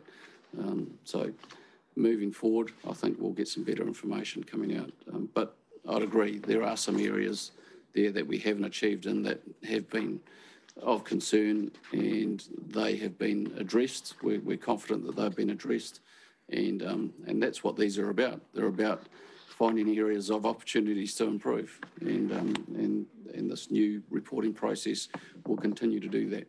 So, yeah, um, we'll leave it at that. Yeah. Peter, do you wish to talk about the individual feedback that's going to be referred back to council. Uh, Oh, that's of the next- Yeah. The That's next the next point, Yep. Yeah. Go for it. So the next point, yeah, point eleven is the annual resident survey results. Um, that was presented to, um, to the Finance and Performance Committee. Uh, the committee asked to move a, a, I I acknowledge that I will be having a brief conversation about that in full council.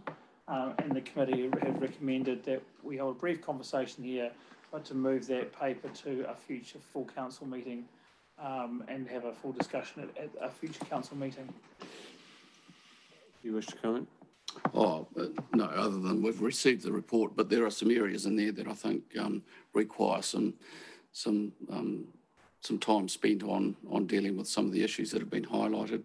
And I think that time needs to be allocated and, and the agenda today was, was full. So to the next council meeting to actually deal with some of those issues that have been highlighted um, through that report. If I, if I may, Worship, um, you know, I've signalled as Chief Executive to, to you as elected members for some time that I don't believe the annual resident survey is an appropriate method for really gauging um, the satisfaction of our public uh, or our ratepayers, or sorry, our residents, I should say. Um, and so we've implemented a, um, a point of contact um, service uh, assessment where um, people who have made contact with us in whatever way that might be, be a swimming pool or a service centre, uh, a consent, etc., are, are invited to give us instantaneous feedback. Um, an annual resident survey um, this year we had 267 respondents across the whole network. Um, we uh, we don't even know if some of those people actually live in the district, for example. So it's fraught with challenges. Notwithstanding that some of the information there within that document is valid, but I wish for it to be more contemporary in terms of our presentation to you. Um, you may have seen a table document which is uh, the results of uh, just one week's worth of data on our um, on our service counters. Um, where in a week we've had 109 responses. Uh, and of those, um, the index is 94, which means that you'll see from this chart um, on the 22nd or the 9th, we're 100% dark green. So everyone was very satisfied on that day. Every person was very satisfied.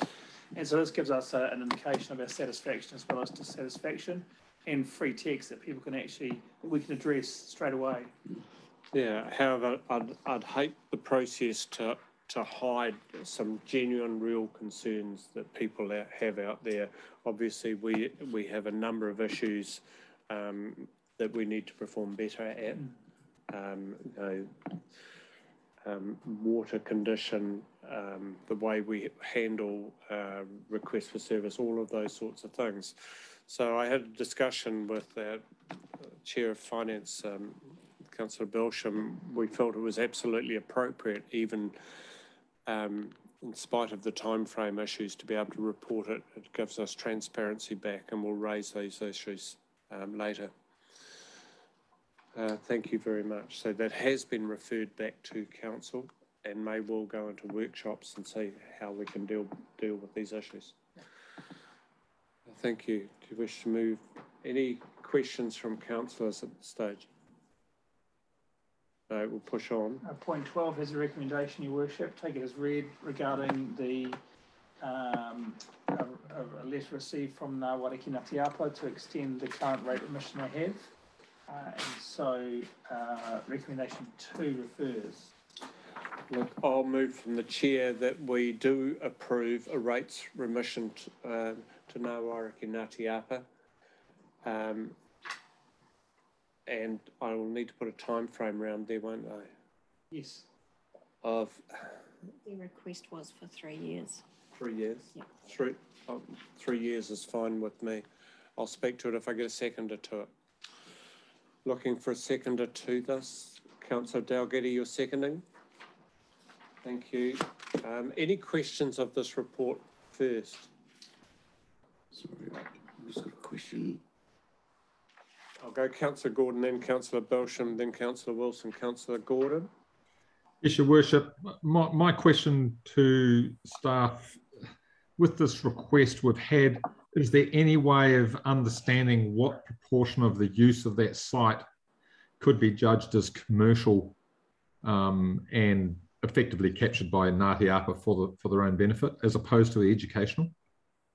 I'll speak to that uh, as part of my speaking to the motion, if you're okay with that. I'm happy. Councillor Belsham.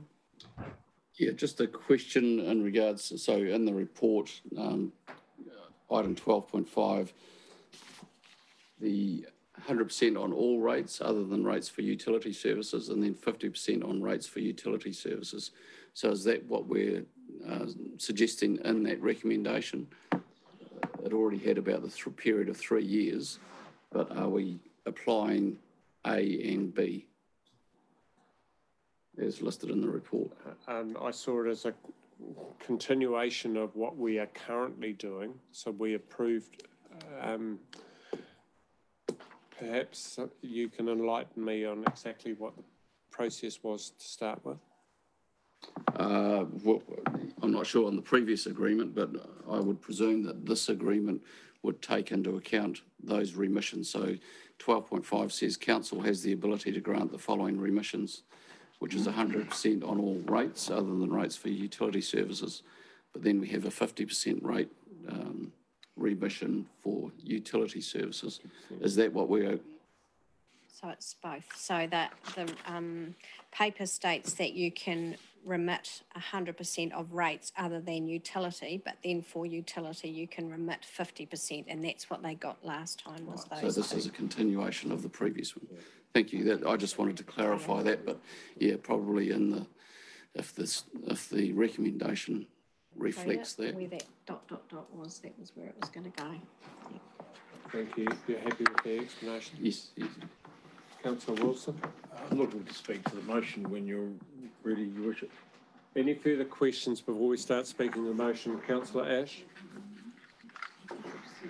Yeah, thanks. I think um, Councillor Gordon um, touched on on what I wanted to, to question uh, re the commercial um, nature of the of the business, um, but also wondering if it's done on a uh, is there some system that uses a pro rata system there that X amount of the property is used for education or um, how how does that actually roll out?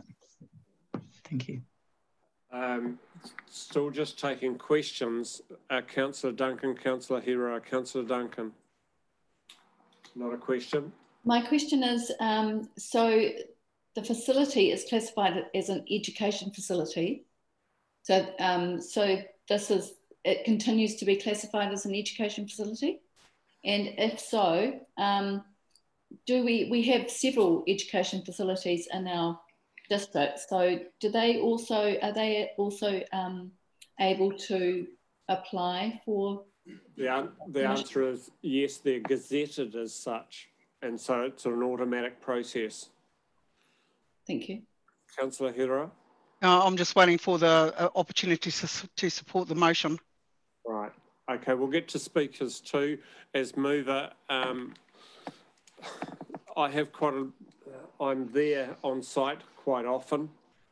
The, real, the reality is they have a series of commercial operations such as uh, the dairy farms, such as um, um, strawberry production, all those sorts of things, they all occur off-site. Mm. The principal use of this facility is to educate um, and some administration, uh, their centre, if you like. However, they also provide education and facilities in terms of our council facilities in terms of training. So the Mahi Tahi program, for instance, that we're involved with um, runs out of Te Pono Te Araki.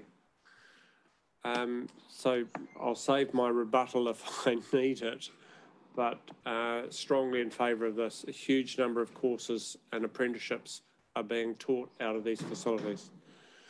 Other speakers to the motion, Councillor Wilson. Um, thank you, Worship. So I, I've got some questions, but as it sits right here, I am going to speak against this motion. Now, I'm basing that on the fact that we've previously made decisions around this council table that we really need to look at the costs and some cost savings within council. And one of those cost savings was the level of rate remission that we give to organisations across the board. Yep. And it is a significant amount of money that is funded by other ratepayers. Um, I just question the policy on this one here where it does say the policy does not apply to organisations operating for private pecuniary profit. Now, I accept your explanation of that. However, I do think we need to look at not only these sorts of arrangements by council, but also these sorts of rates remission policies across the board. And, and I think our whole policy in that respect needs to be reviewed. Also, three years, I read somewhere in here, and I'm struggling to find it, and I apologise, that the application was a yearly application for rate remission, and you've indicated three years. I think, if I may. Yes. Clarification.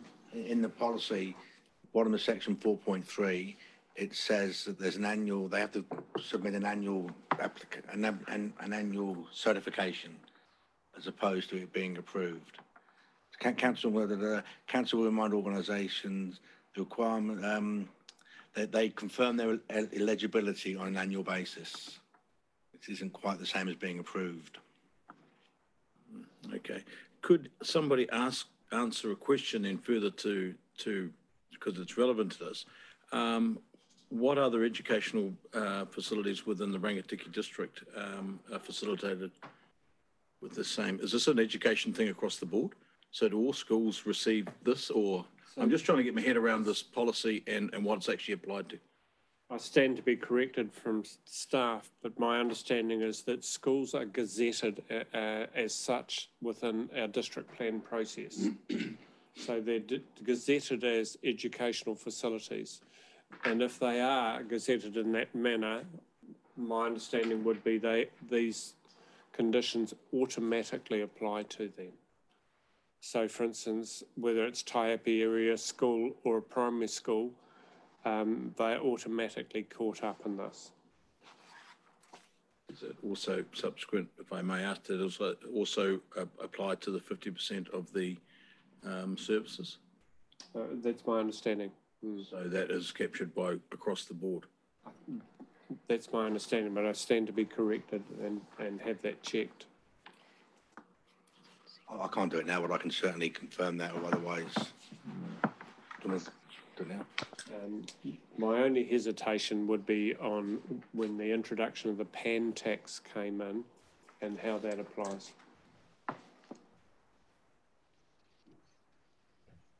Did you wish for us to take that as an I think, yes, there will be an action that we will need to get clarification on. Uh, you can't just take my understanding of it. Councillor Ash?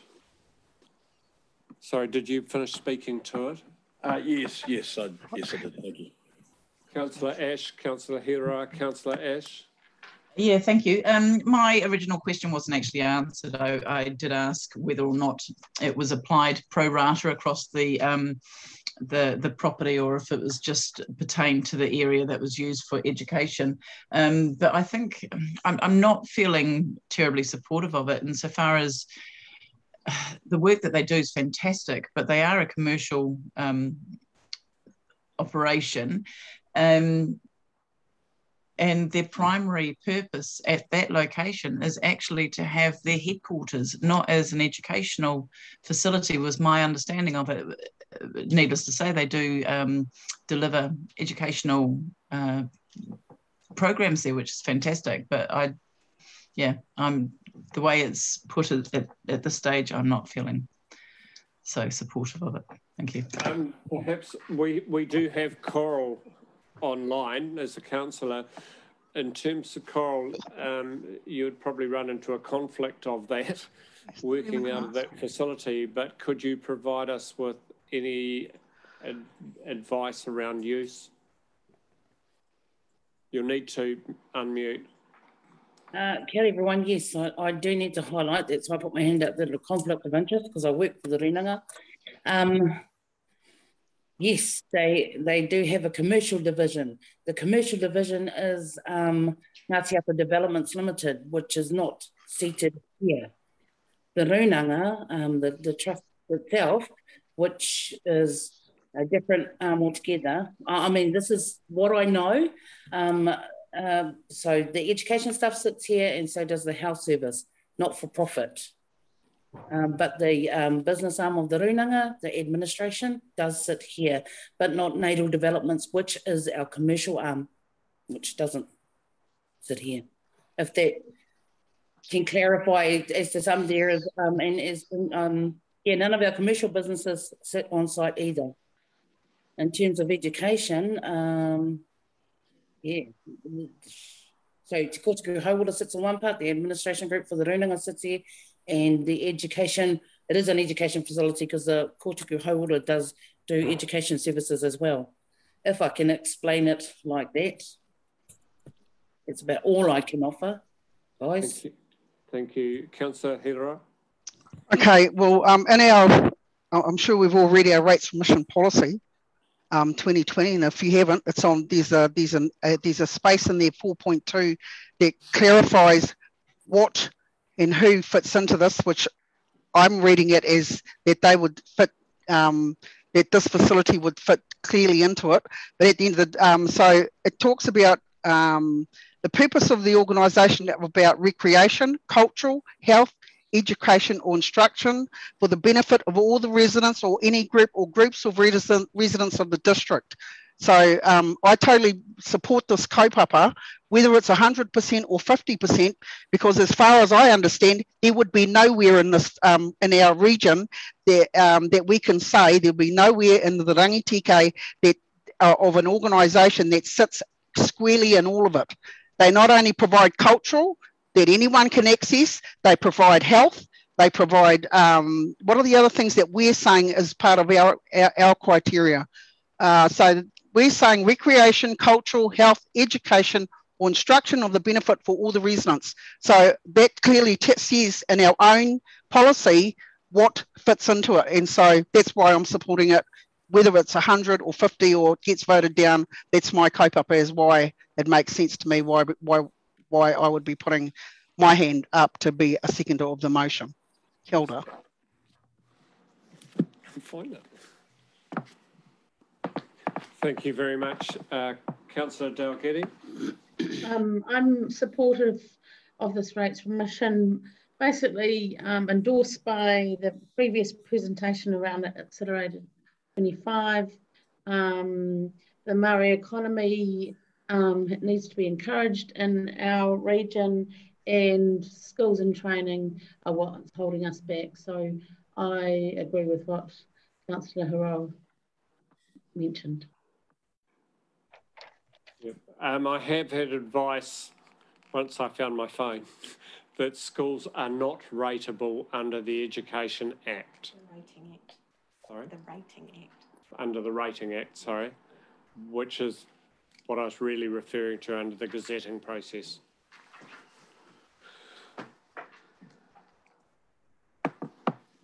Any further speakers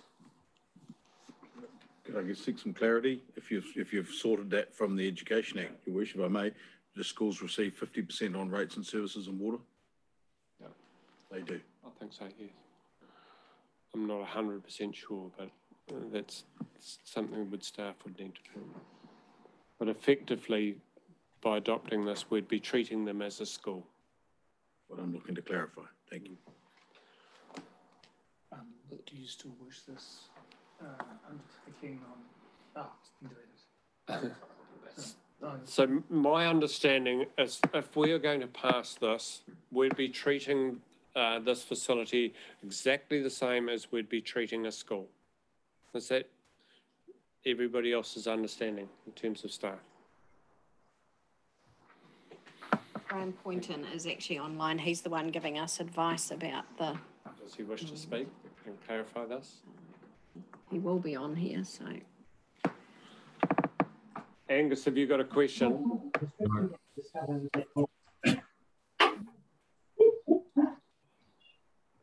Councillor Dalgety? Um, we just need to clarify around the annual versus three yearly um, application. I believe it needs to be annual. you'd need, if you're going to do that, my motion was for three years, you'd need to seek an amendment. Are you wishing to move an amendment to one year? Yes, that's correct. Is there a seconder to that? Yes. You have a seconder. Um, do you need to take time to explain your thinking or are you happy for it to go straight to a vote? Happy for it to go to a vote. Right. We're seeking um, a vote around the amendment that the motion gets amended to change three years to one year. Those, those in favour, please raise your hands. One, one, two, three, four, five, six, seven. We have a majority. The amendment is carried. So this would be then deemed to be in effect an annual process they would need to go through. Uh, You, you would need to go through. Yes. Hmm. So um, the substantive motion now reads that the council would re- approve the rate remission in this respect of their property, etc., uh, for a period of one year.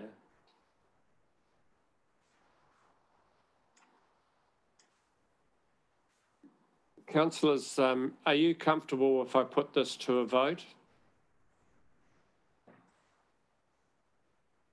I've got a series of nods around the room. Um, right of reply, look, I think effectively my right of reply, reply has been put really well by Councillor Hiroa. So they're not only an education facility, a cultural facility, um, but the amount of work they do in the health area, um, this is where most of our COVID vaccinations were done through. Um, it, it's a, an incredible response, and they they view the social areas of this incredibly highly. Uh, we have a number of apprentices that have been um, taken on as a result of work that is being done out of the training. So, I'll, having had the right of reply, I'll put it to the vote. Those in favour? One, two, three, four, five, six, seven. We have a majority. Thank you, carried. Move on, please. Um, Your worship, Yes. Um, before we move off this item, could we possibly signal to Ngāti Apa that in, if they put in an application next year, that they should really be quite explicit around the percentage of any commercial activity that is undertaken on the site? I think if they were, that would clarify any doubts that people would have, and it would probably be easier for us and actually easier for them. The community may well view that more favourably.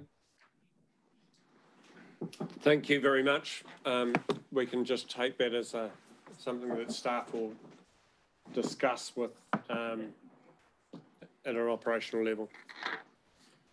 Um, before we move on to point thirteen, your worship, is the undertaking, Mr Terms, to clarify, blah, blah, blah, from councillor Wilson, is that still required? Um, it'll come up as part of that discussion. I think we're fine. Yeah, I be- actually, I believe that's been answered. So you, thank you for that. I was just reading it. Thank you. Um, another point now for, uh, a regular resolution is on Hereford Heights road names, point thirteen on page forty-two.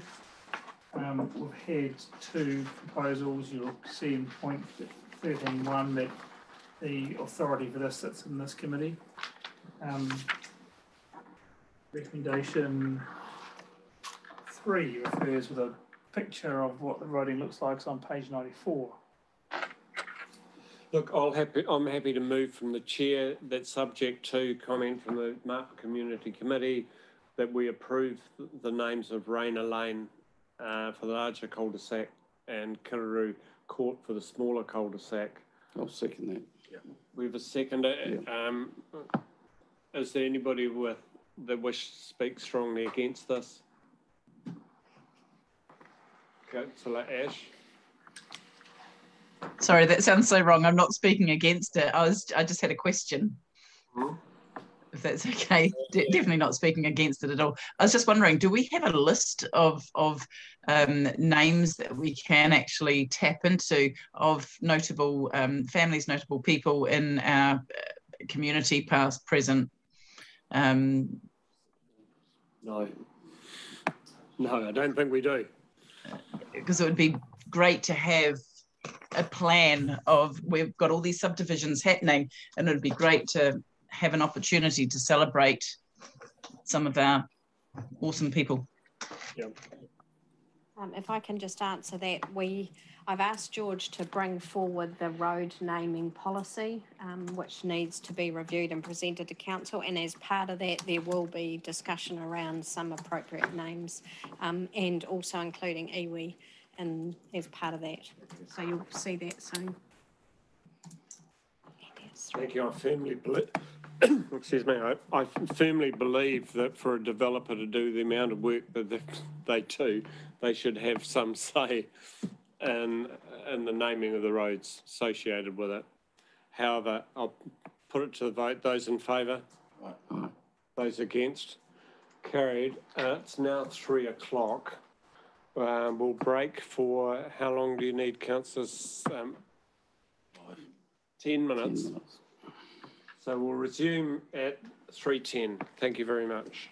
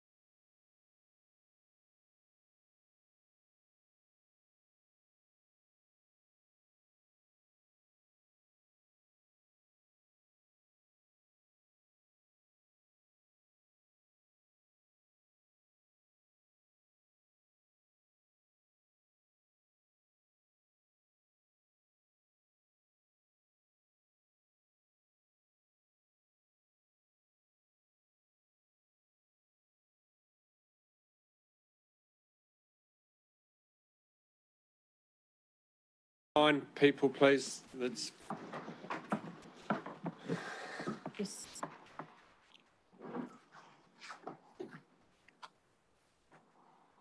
Uh, welcome back, everybody.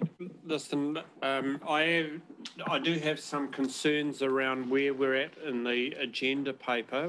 We're probably fifteen percent of the way through the agenda. Uh, we've now been going for a couple of hours, and I will look to close council off uh, no later than five thirty. Uh, what happens is you get to a state of not being able to make good governance decisions um, once you've been at the table all day.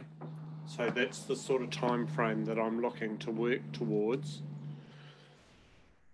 Carry on with the report, please. The Chief Executive. Thank you. Worship. Next point, point fourteen, page forty-two regarding Kiwi Road, Taihape, uh, and the proposed road stopping. I've got Graham Poynton online. Graham, can you join us, please? And start your video.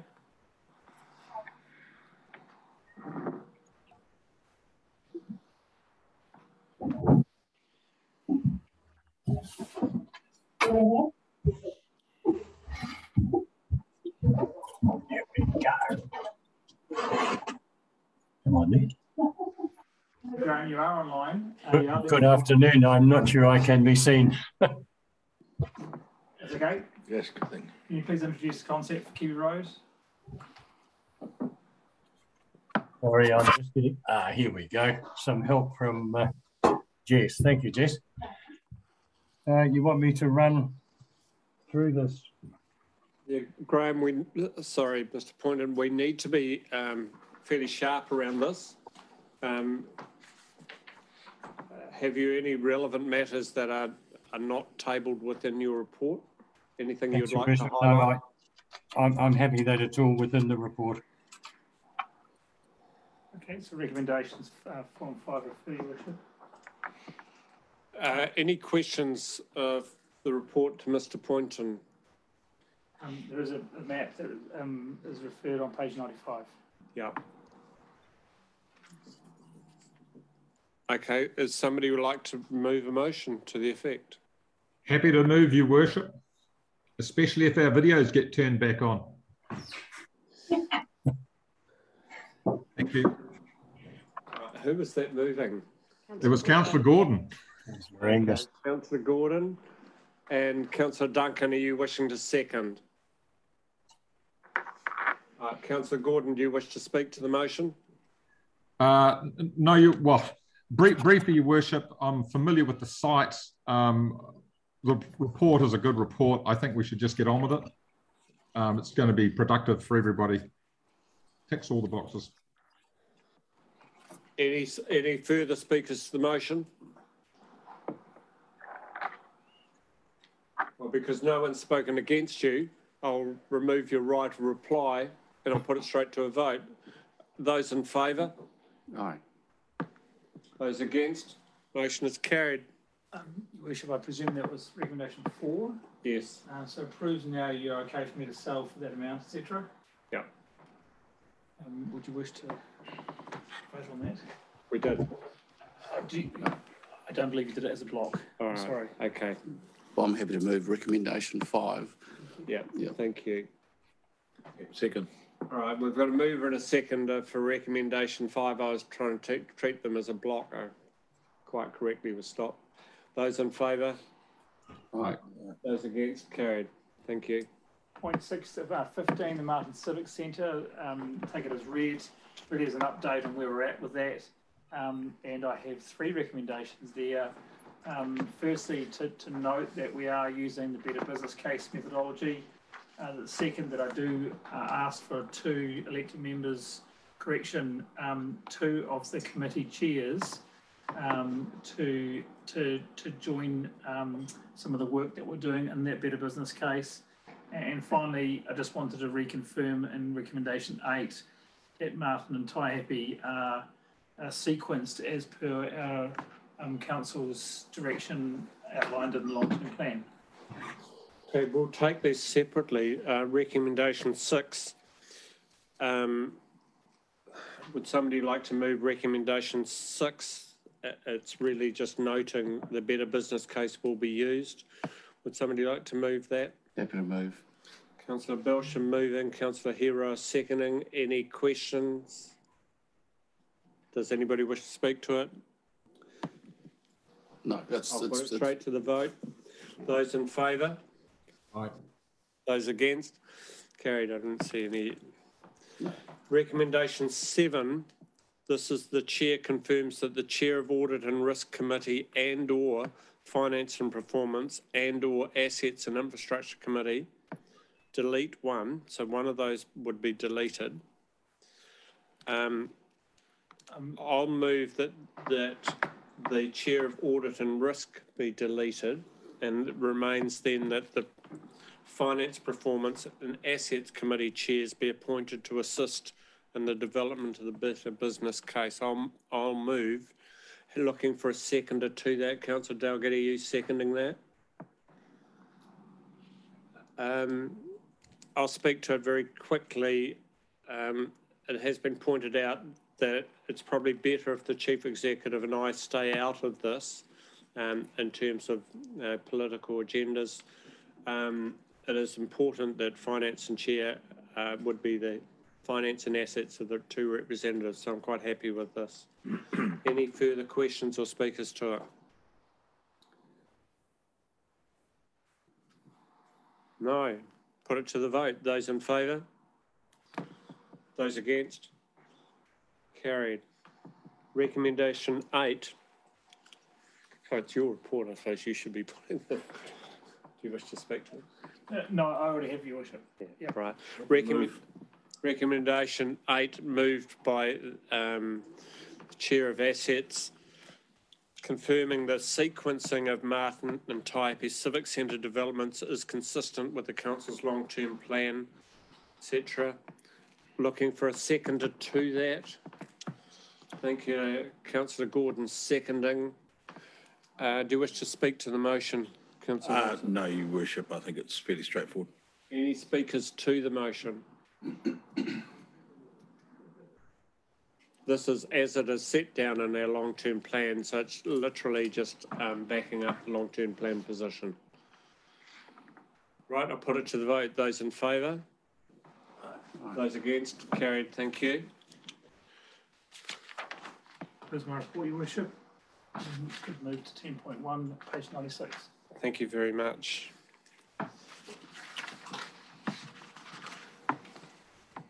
So this is the ten point one uh, ninety-six. This is the submission to central governments on three waters reform, which includes the uh, tabled copies. Yes. Has everybody got tabled copies in front of them? This is the proposed letter to Minister Mahuta. Uh, it will go to the Department of Internal Affairs, yes. Yeah. And it will be formatted as. Yeah. Has anybody not seen this? I think all councillors, you've had copies of this emailed to you. I'd just like some hands up, please, that you have seen the document. Yes. Thank you.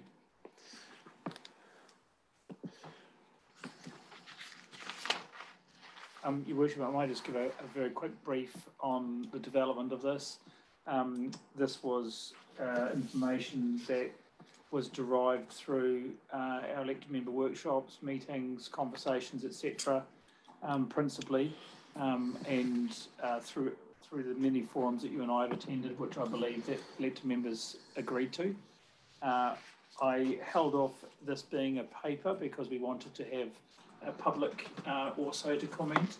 You'll see the community feedback on the final page, but the community feedback of the 269 responses we got was uh, largely aligned to elected member feedback during the, the proceeding process. Uh, so that's why I had a very small addition for um, community feedback at the end of the report.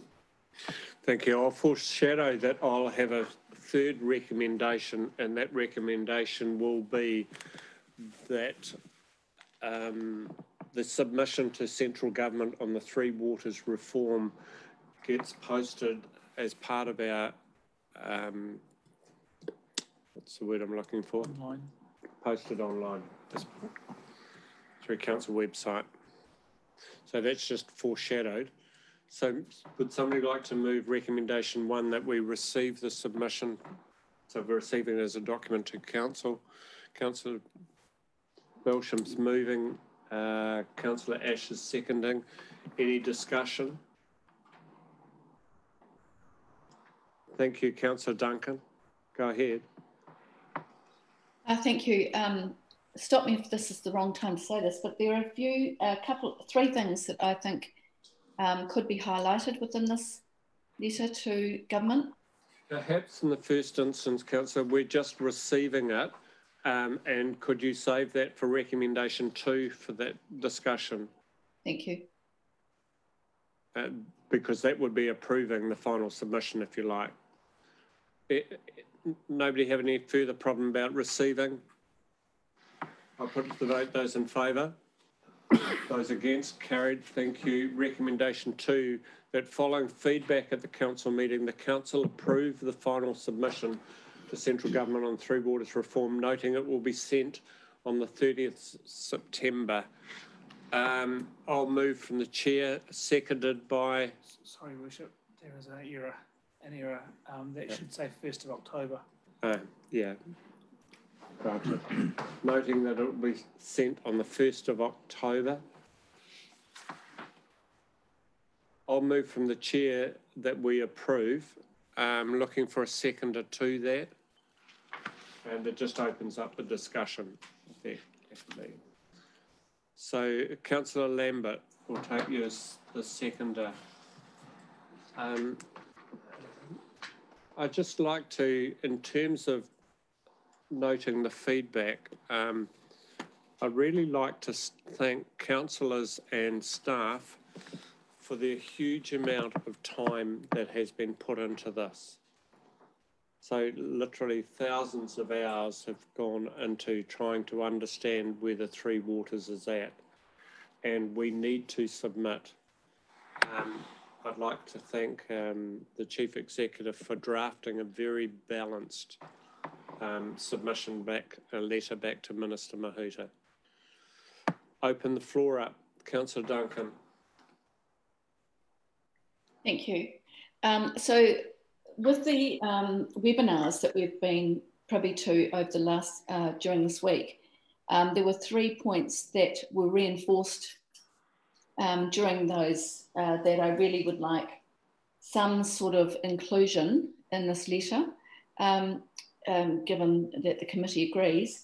Uh, one of the things with TasWater was they were very clear about the fact that are 29 councils, and I believe that we are about 29 in our uh, all have a vote, and those votes are um, equally uh, weighted.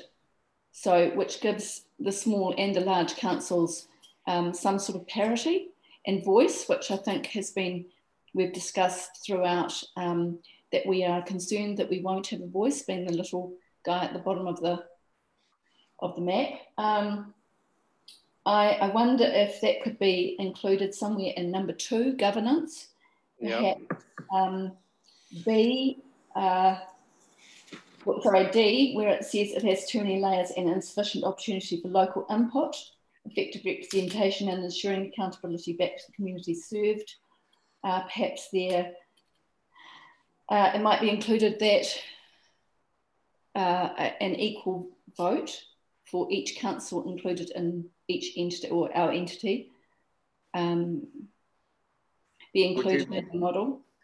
If, if the change was to be adopted, could you consider that change to be a, around the words um, um, it has too many layers and insufficient opportunity for local input, effective representation, and ensuring accountability back on an equal basis for each council.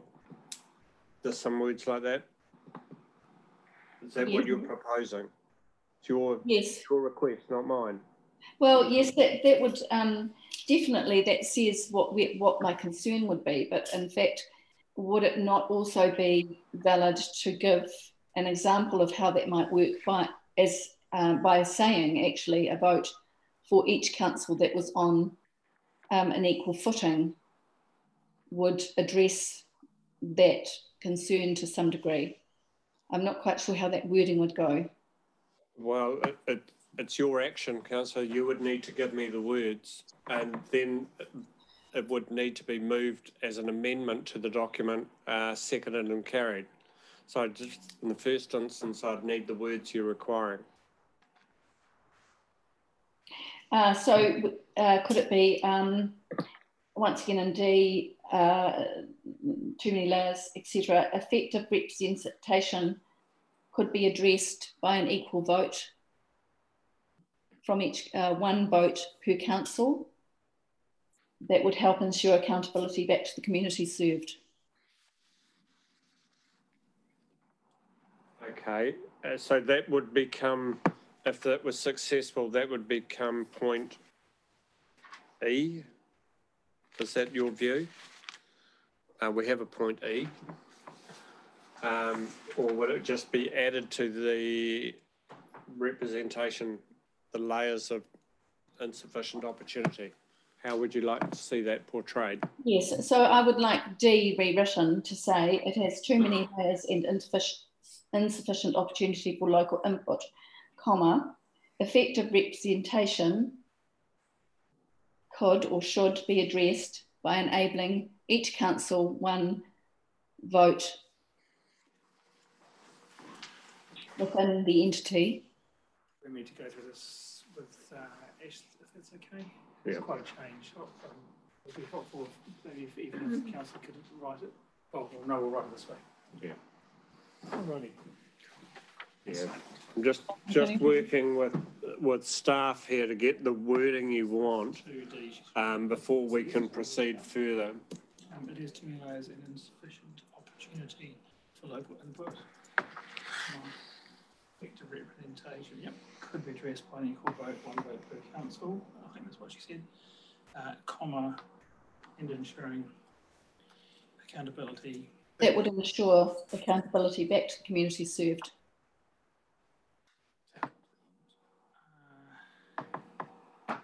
Or that would help address accountability back to the community served. I'm happy for staff to play with that. I, I can't play with it, Your Worship.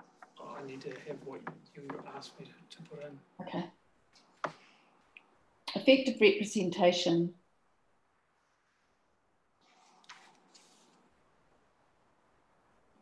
Um, I was happy with that first bit. Should be, or could be, could be addressed by each council having one vote. Sorry, do you want to read it back to me? Sorry, I'm now now I'm confused. So the, the proposed amendment um, that we have written down is for section two D to replace current two D with the following. It has too many layers and insufficient opportunity for local input, comma. Effective representation could be addressed by an equal vote, colon, semicolon, one vote per council, and ensuring accountability back to the community served. Um, the concern I have with this is around one vote at what stage of governance? Um, you know, we do not have a vote, and nor will a council have a vote on the entity board. I would be personally, I'd be hesitant about putting this in because the minister is likely to say, exactly what are you talking about here? If I'm brutally frank.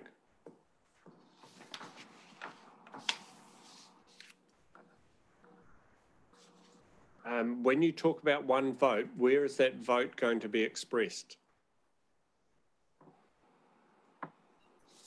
Um, I believe from what I, yes, I would have to go back and check, but it was representation, um, the representation level in the layers of the, the new layers that are proposed. There is a, um, staff may be, be able to remind me, but it was uh, the level up from local government and, and um, tangata whenua. There is a representation level there that then goes into the, uh, the board that, that elects the entity board. So I just, I just wonder, councillor, whether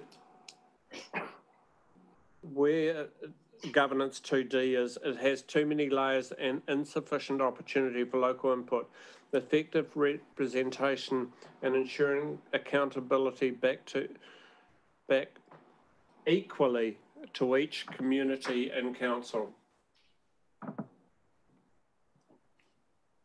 Is what you're trying to achieve. But the moment you start putting voting rights in, I think that it gets lost in a wilderness. Uh, yes, I think in that case, um, Your Worship, uh, that we could um, use the word equally. Yep, that would satisfy the intent. Okay, so the, so if you'd like to type as I speak. Um, yeah, we've got this motion here. We can amend that, perhaps. Or do we go straight from the start? Okay. So, no, we'll start again. So 2D governance would read as amended, it has too many layers and insufficient opportunity for local input, comma, effective representation and ensuring accountability equally back to each council and community served. Sorry, could you please repeat that a little bit? Oh, I've got it, I've got it. So, um, so on, on, on this one, there's insufficient opportunity for local input, effective representation and ensuring accountability equally back to the community served. Then one will change. Equally back to each council and community served or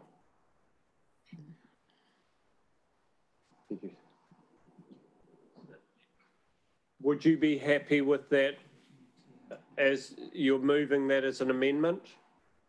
Yes, thank you. Looking for a seconder to it. Is there a, is there a seconder back to the amendment?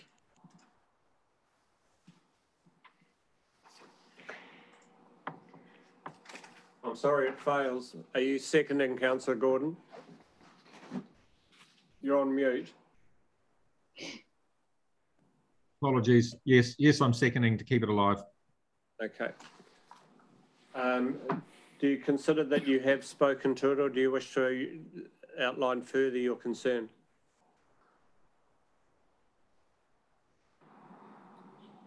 Councillor Duncan. Oh, sorry. Uh, no, I think I've probably spoken to it. Just that that that was um, on several occasions the people who were involved, including the um, the mayor of uh, Tasmania, Jan Bond, um, said that this was this was something that they really valued. The fact that all the councils, the little councils, were able to be done equally to the larger bodies. Okay. Any other speakers to the motion? to replace D with 2D? No? Uh, so there's no other speakers against it, so you lose your, effectively your right to reply. I'll put it to a vote. Those in favour of the amendment? One, one, two, three. Hang on. One, Councillor Ash, you're voting for it. One, two, three, four, five, six, seven. All right, the amendment succeeds. Um, and it now becomes this part of the substantive document when adopted. Any further changes that councillors want to the letter? Sorry, councillor, I wasn't getting at you in terms of the vote thing. It's just, it would raise questions as to exactly what you're intending.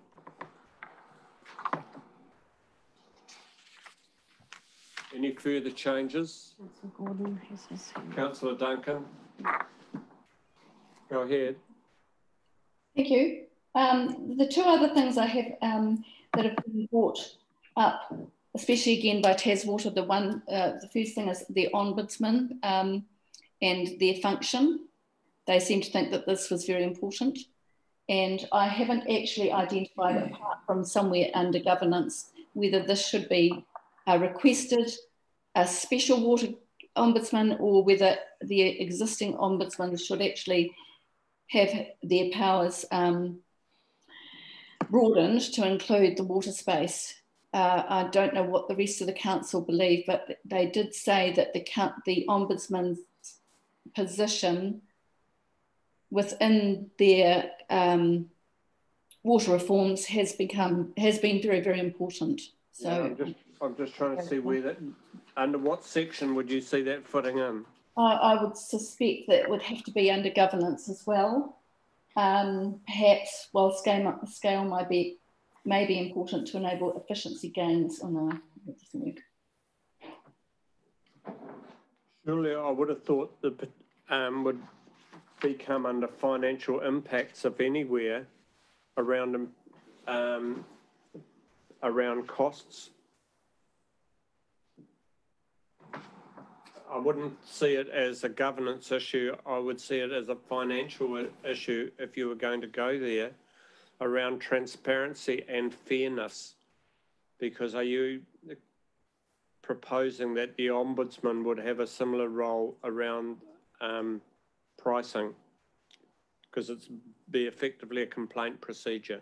Yes, very much so. So I see what you mean. And so um, you're talking about financial impacts. Uh, C, this needs to make clear the degree of transparency. Is that is that where you'd see that? Uh, if you were going to do it, that would be my preference in that area. But I might just ask for uh, the chief executive's opinion in here. Um, I want the chief executive to be part and parcel of this discussion, having worked extensively in this area. Peter, do you have a view? Sorry, Your Worship, no, I, I, I don't. Um, if it's a, if it's a question on whether or not the ombudsman should be a standalone water ombudsman or if it should be included in New Zealand's Office of the Ombudsman. Um, if, if elected members have a preference or feedback, then I'll put it in the letter. For, for me, I don't see it as an issue that has been raised thus far um, by elected members or in any conversation I've had. It acknowledges that an ombudsman might be important. I don't believe it's going to be a, a, a fundamental part of this document. The question I'd ask then is, in the survey results from the community, has this been raised as an issue? I don't believe so. Okay. We could check. Just um, in, in terms of, first of all, um, the Ombudsman's position will always remain there. Really, the question is whether you want a dedicated Ombudsman purely relating to the three waters. Is that what you're seeking? No, um, no, I'm not. I'm I'm just responding to what was quite clearly said, and I believe they do have a dedicated ombudsman, and I'm not. Uh, I'm I'm not um, worried about whether he's dedicated or not, but that his that his position and power is available for those people who who need um, who have complaints and need uh, need support. I, my understanding of the ombudsman, ombudsman position is that you would always have the opportunity to, to go to the ombudsman. And my advice is I don't think that would be necessary at this stage. Um, but it's, it's up to you. No, thank you. Uh, and I have heard what the chief executive has said, has said and um, and that's absolutely fine if he doesn't believe that this is the right place okay. or the right time. Um, the, only, the last thing I have, sorry, is the local supply chain, and I wonder if um, that might be brought up in other issues E. Yeah, can you tell me, have you got any words around it? No.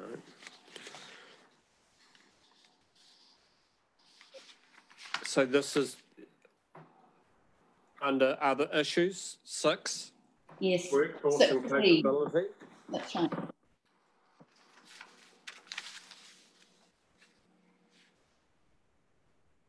And actually, um, I have to say that rereading this, ensuring local delivery footprint Um, I believe that's been covered, so I withdraw that. Thank you. Okay, thank you. Um, councillors, any other changes that you would wish to make to this document?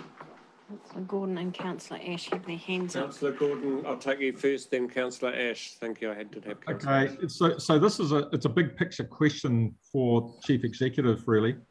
Um, one of the drivers that government, central government, has put forward is around economies of scale, and I really wonder whether having four entities as they've laid out gives us appropriate economies of scale um, for purchasing and for the creation of what I might call a brains trust.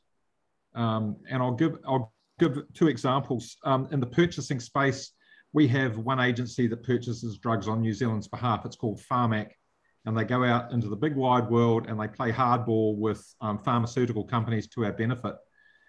I would expect that if we were to have similar purchasing grunt, we'd want one agency to go out there and take on the multinationals that supply all the stuff like pipes and pumps and all the kit that we need in the space. I think having four agencies, possibly not always working together, would undermine that position. So I just wonder whether that has to be flagged.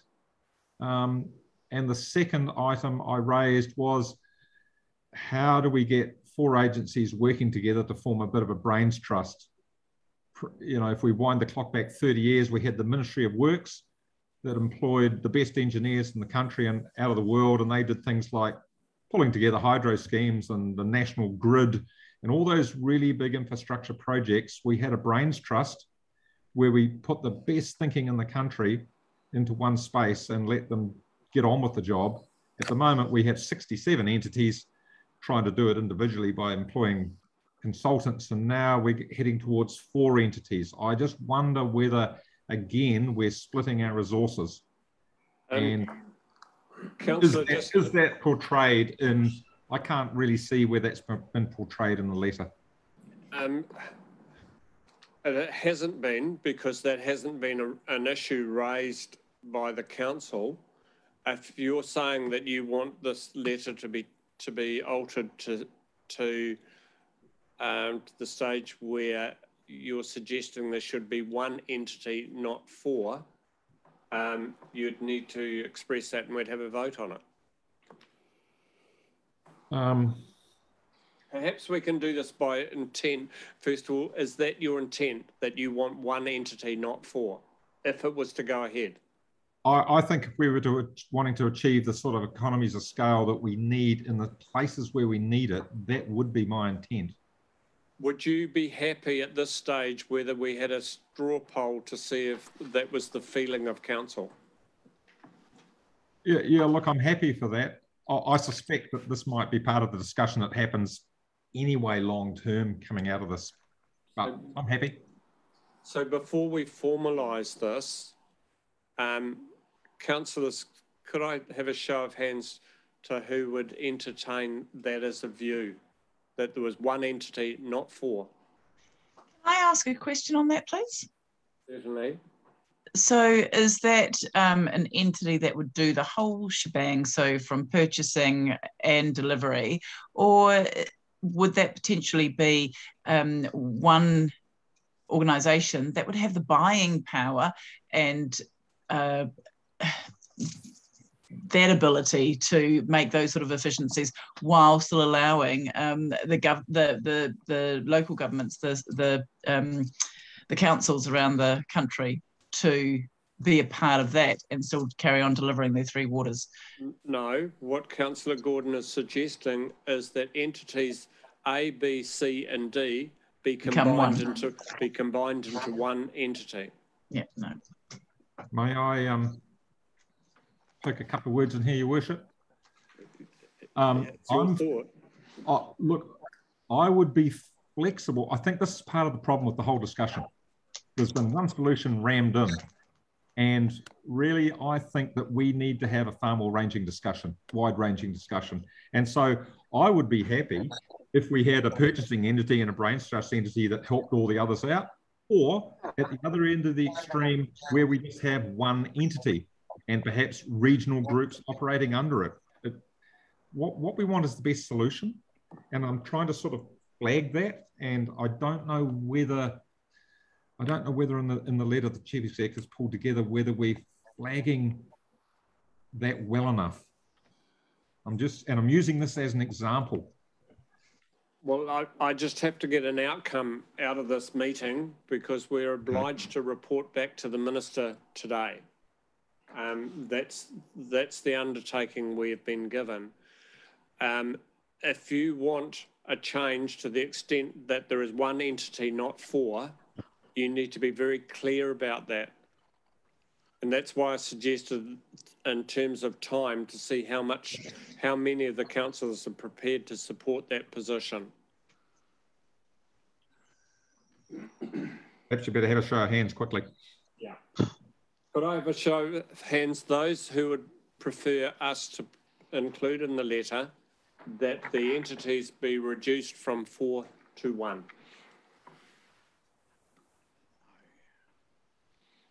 I'm sorry, it doesn't, doesn't cut the mustard. Um, but thank you for your concern. Councillor Ash. Councillor Ash next.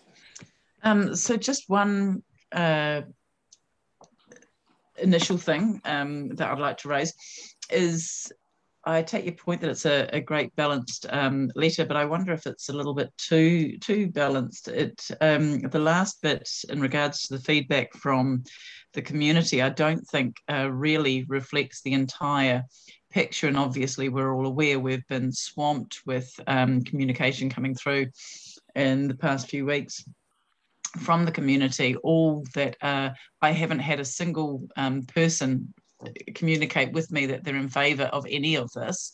Um, and I think that needs to be um, transmitted to the to the government really, really clearly that uh, our communities are not on board with this at all, um, and maybe highlight some of the points that they've they've raised. Very, very valid points. Um, I, I, I just think that um, Councillor Ash, the last line of community feedback says overwhelmingly the majority of survey uh, respondents are opposed.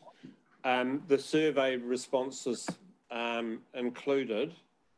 Um, I think, I wonder if, if Councillor Ash is referring to the feedback that elected members have been receiving, yep. whether it be by email or conversations in the street or anecdotally uh, on, on the proposed and what I've tried to do is capture that in a more formal sense as opposition that, that you've fed back through the various conversations I've had with you, the various emails you've sent to me, uh, our workshops, etc., etc. I haven't explicitly stated it, but I've, I've covered it through here. Of instead of saying we don't agree, we've being broader sense, um, that I've put in all the concerns that you've brought back to me that the, that people have come back. I felt that addressing the concerns and the proposals were a better way of giving feedback than we just oppose. Mm. totally hear you there. Um, I, I, do think it's it's vital that we actually strengthen that last bit about our feedback from the communities, and part of the feedback has been that the the um, survey didn't give them enough scope to really have a have a say. So um, yeah, I, I just think we could put more weight how, there to. How to... do you wish to strengthen that last sentence, uh, councillor? Scroll down to it. Um, well, maybe include at the end of it a couple of the points. I mean, from some of the communications we've been having come through on the email, even just add a couple of the sentences from there. These are the kind of concerns that the community have. We have, our community has shown absolutely no confidence in the proposal um, right. to date. So how about we include a sentence at the end that says, um, Minister, um, we have received um, a huge number of of emails subsequent to the subsequent to the this letter being initially drafted they have been hundred percent um, telling us to, we should not be party to this reform. Maybe we should- I could have something, maybe a bit shorter there. In the final sentence, I could add, um, currently it says overwhelmingly the majority of survey respondents, comma, and feedback to our elected members, comma, are opposed to the proposed reform. Yeah. And I, yeah, I think clearly stating that there is no confidence um, from the community in this proposal. Yeah, so you'd like the words included that there is no confidence from the community that, to support this proposal. Yes. I would like that. Do you want to put some words there? Uh, so Sorry. that's all right. So we started out by saying, uh, um, Councillor Belsham, you said instead of Yeah, overwhelmingly the vast majority. So uh, it's pretty much Oh, okay. Overwhelmingly, the vast majority of survey respondents, comma, comma, uh, including feedback directly to council elected members. Have no confidence on this reform. comma, have no confidence In the proposed in the reform. proposed reform and are opposed to it. Yeah.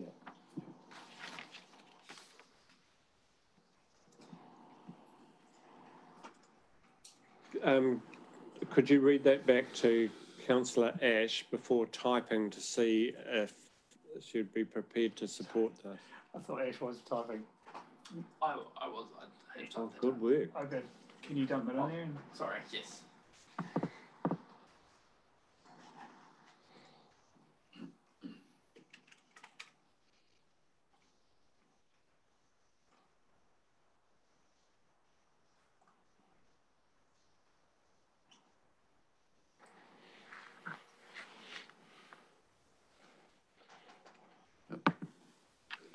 Councillor, can you see, councillor Ash, can you see that amendment as written? Can I read it to you?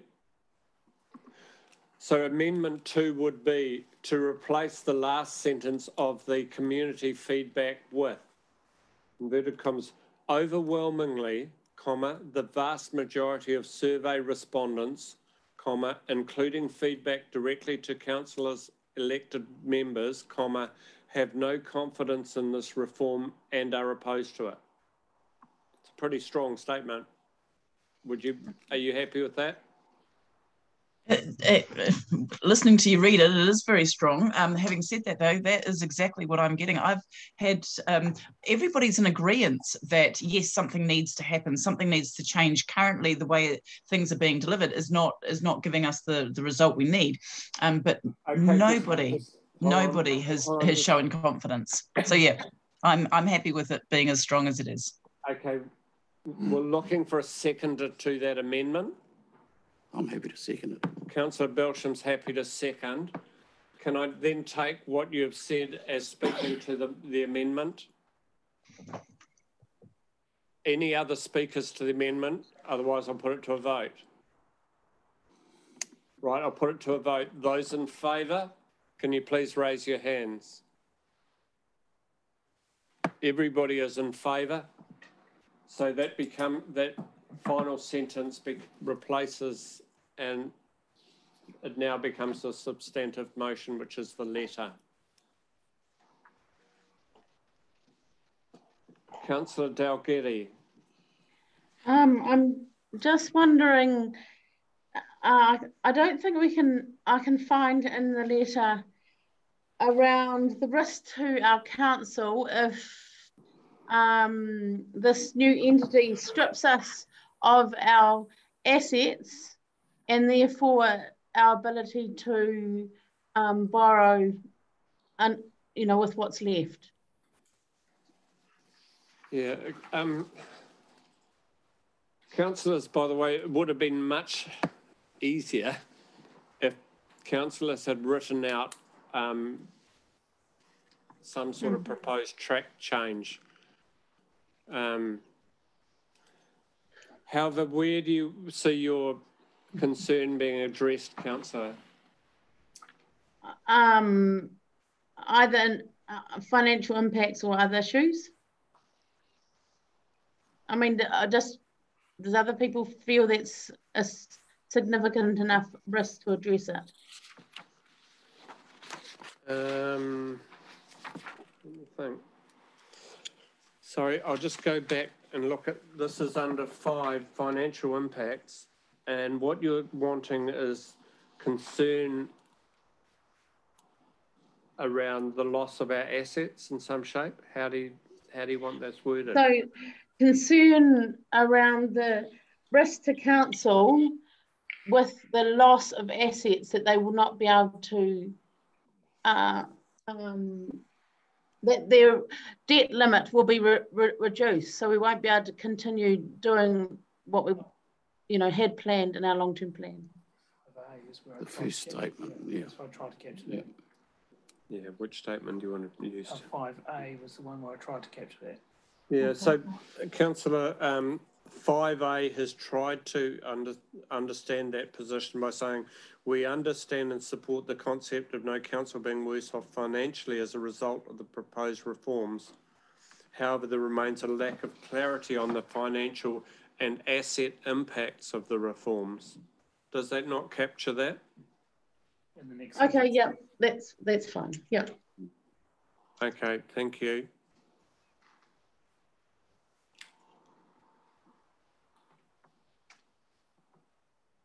Anything else before we look to bed this down? Councillor Duncan. Uh, I just want to say this is an excellent letter and thank you very much to staff. Oh. Right, so when we're now we now have the substantive motion moved by myself, uh, Councillor Lambert, seconding. I'm I don't think I need to speak further to it. I think, um, councillors, if we, you wish to express a view, um, now would be the time to do so. And I'll take your view, councillor, that you've um, just given. I think this is a very, very clear message to, to government and our community that we have significant concerns. Councillor Ash. So the process, just putting some clarity, process going on from here. Um, so we, we send this letter in. Yeah. What, and I know, sorry, this is probably just a, a moot point anyway. What is the next step? I mean, we don't know anything. We haven't, it's all been very ambiguous so, and vague. So each council, each council has been asked or given the opportunity to submit back to the minister. Mm-hmm. Uh, the entities have also been given that opportunity, the draft entities. Um, the minister then will look at these and come out with some form of response. Um, then there are two sort of pathways from that. One is that the minister and government may decide we've listened to what you've had to say and we will just mandate and make this law. Following down that pathway, it's then a matter of whether communities and the council want to express their disappointment or anger in that process. The second option is that it proceeds down the line that councils still have the ability to opt out. Um,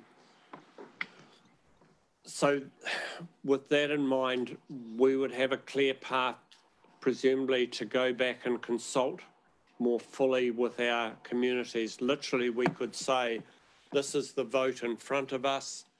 Please indicate whether you're yes or no. Uh, how we consult would be up to us, um, but that would be the second pathway that flowed out of that. Then ultimately, if you went down that pathway, council would need to make a decision as to whether to opt out. I suspect there will be a hybrid of this. I suspect what will happen is the minister may well come back and say, I would like to take a little bit further look at this, take some more time over it, or uh, to establish some of the inter, some of the systems around a possible transition without enacting it. There could be all sorts of hybrids, but that'd be effectively um, a putting off a firm decision.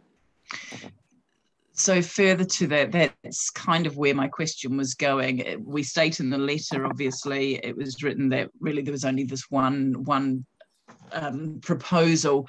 Um, at what point do they look at what other options are actually available? I mean, similar to having one entity that is the buying power while um, local councils retain their their deliverables or what have you. Is is there a point at okay, which? um, this is this is not council's proposal. This is the proposal put out by government. Oh, very obviously aware of that, Andy. Uh, yeah, I'm not. I'm not trying to tell you. Um, so it's up to the the the balls in the minister's court. Every council is expressing a series of concerns, as we have, and then it's up to the minister as to whether the minister is prepared to alter their proposal on the basis of these concerns. Mm-hmm. Okay, thank you. Councillor Belsham. Yeah, look, um, this is a well put together letter, and I think in a nutshell, the, the general public out there think we're giving away these assets and they're going to large organisations that we're going to lose complete control over the ability to have any say. This letter really drills down on every concern that's been raised by elected members and in general from the public. So, you know, I think this is this is hugely informative to head back to the minister and it does, it relays our concerns and our public's concerns. And I think at this stage, that's all we've got the ability to do. Um, is listen to the listen to the uh, ratepayers of our community, and we've we have. You know, they feel like we're losing control of these assets if uh, if this entity goes ahead, and this letter basically drills down on all of those concerns. So I think um, you know this will be hugely beneficial. Yeah, just further to the, what would happen um, in terms of council's decision, the government may make several suggestions and say, these are the concerns that have been raised. This is how they're going to be dealt with. Um, there may well be a large number of councils, including potentially ours, would say these concerns have now been addressed and we're more comfortable with the financial position um, that's inherent to these proposals. So who knows where this goes next? Right, I'll now put it to the vote. Um, those in favour? This is in favour of this letter going. Thank you. Would the record please uh, show that all were in favour. So no against, uh, carried.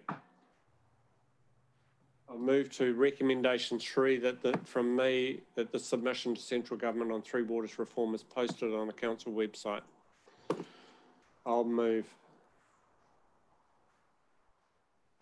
You finish. I've just got one more thing. I'll just ask you. Sorry. I'll let you finish this. Yeah. Are you seconding Councillor Dalgety? Thanks. Those in favour? Carried. Thank you. I think we have an obligation to be transparent in our position. Just the mechanics of this, Your Worship, you may, considering, I'm anticipating that this will be a, a letter on mayoral letterhead on your signature. Correct. Did you want particularly a recommendation for that? Yeah. Um, councillors, this would be a letter that goes onto our website with my signature. Councillors, do you wish to have your signatures attached to this letter that is sent to the minister and to be on the website? So some councils have come out very strongly and said, um, this is our position and effectively by everybody signing it, it shows that to the minister that all are in favour? That's your call. Do I, can I have some sense of direction around this? Your Worship, for me personally, I don't believe that's necessary. We've recorded in the minutes that it was a unanimous decision by this council to support it. Some councillors may feel the need to have that on there, but I don't see the need to have that. It is simply endorsing a letter to the minister um, at this point in time, and at this stage does not uh, does not need uh, deem a decision by this council either. Okay. Thank you, councillor Duncan. Councillor Ash next. Councillor Duncan. Thank you. I have an opposing view. I think that I, uh, I have received some of these letters. I've seen them, and it, I think it lends greater weight when you can see that everyone's taken the um, the trouble to sign it. And I think that especially um, when um, our mayor has had to front everything on his own, it would be be nice to see that he is supported by his um, army of supporters. My battalion. Councillor Ash. Yeah, just uh, exactly as as Councillor Duncan um, just said, I I do believe it actually adds a bit more weight when there's the signatures of everybody. But if we weren't to do that, um, because it may be tricky to get all our signatures on, I have absolutely no idea. Um, uh, just stating it in the letter that you know it was unanimous around the have table. Can I have a show of hands as to how many councillors wish to see their signature attached to the letter, please? One. Is that a scratch or is that a vote, councillor Hiroa? You're on mute. Um, one, two, three. Um, I'm, I'm happy. Well, if if it's a if it, if we're all going to do it, then we should all do it. If we aren't all going to do it, then I'm I, I'm not fussed about having my my name on it. To be honest. No, the feeling around the room is uh, people aren't fussed around it. So no, it'll just go as a letter. Um, be noted that we're all in support, um, etc. I think that deals with all of that. I think we can now move on. Um, this is, we're now moving into ten point two. This is the lease requ- lease request for the Bulls Town Library. The Bulls Library, their old one.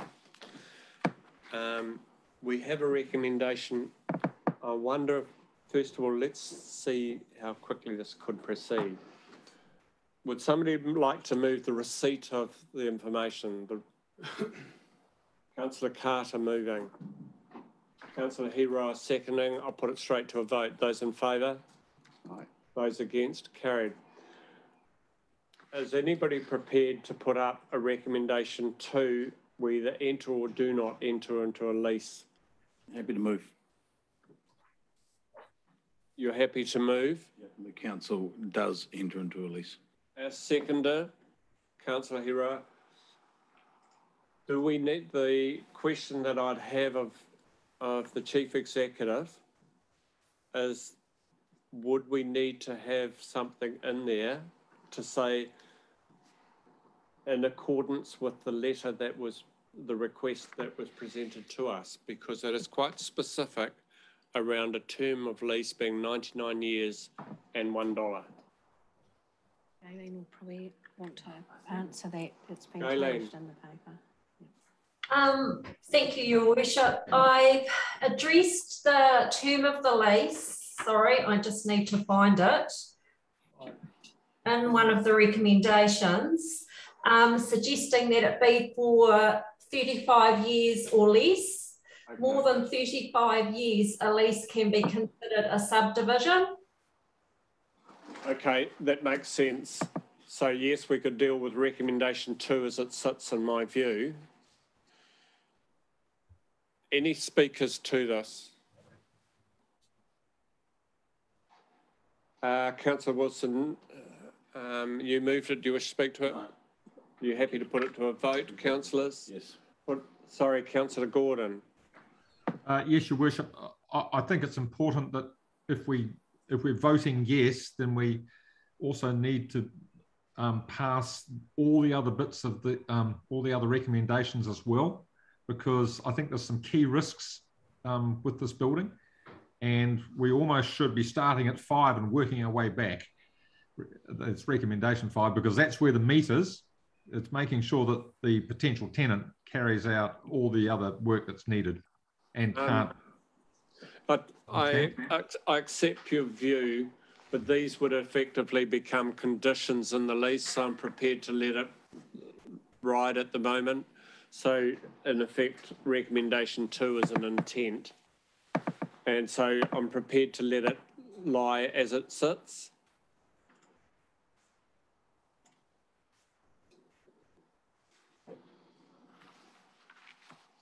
Do I have an objection to that ruling by any councillor? No, put it to the vote. Those in favour? Aye. Those against? Carried. Recommendation three, that the public car parking areas at the rear of 73 High Street, boom, boom, boom, do not form part of the lease with Bulls and District Historical Society and that they remain available as a public car parking space. Councillor Duncan, are you moving? Councillor Carter, are you seconding? Thank you. Do you wish to speak to this, Councillor Duncan? No? You happy, councillors, you happy this goes straight to a vote? Yes. Put it to the vote. Those in favour? Those against? Motion is carried. Recommendation four, that to, due to the very high life safety risk rating, the building at 73 High Street Bulls is not to be open to the public until all seismic strengthening work has been completed. Ooh. Um, so just put a little bit of context or a question to me around this. So current, I'm just, currently the law would say that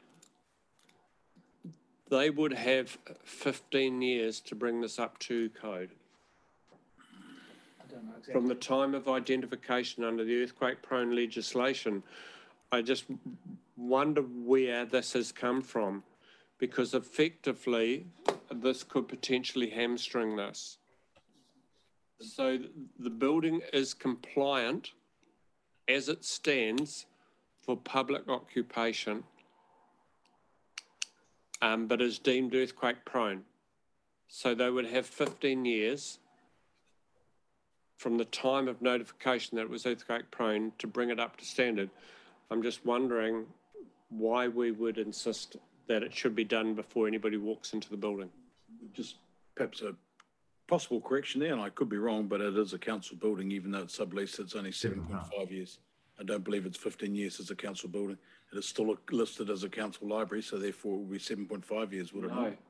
It only becomes a council, it it only be, gets shortened to seven and a half years if it has a core responsibility to council infrastructure, etc.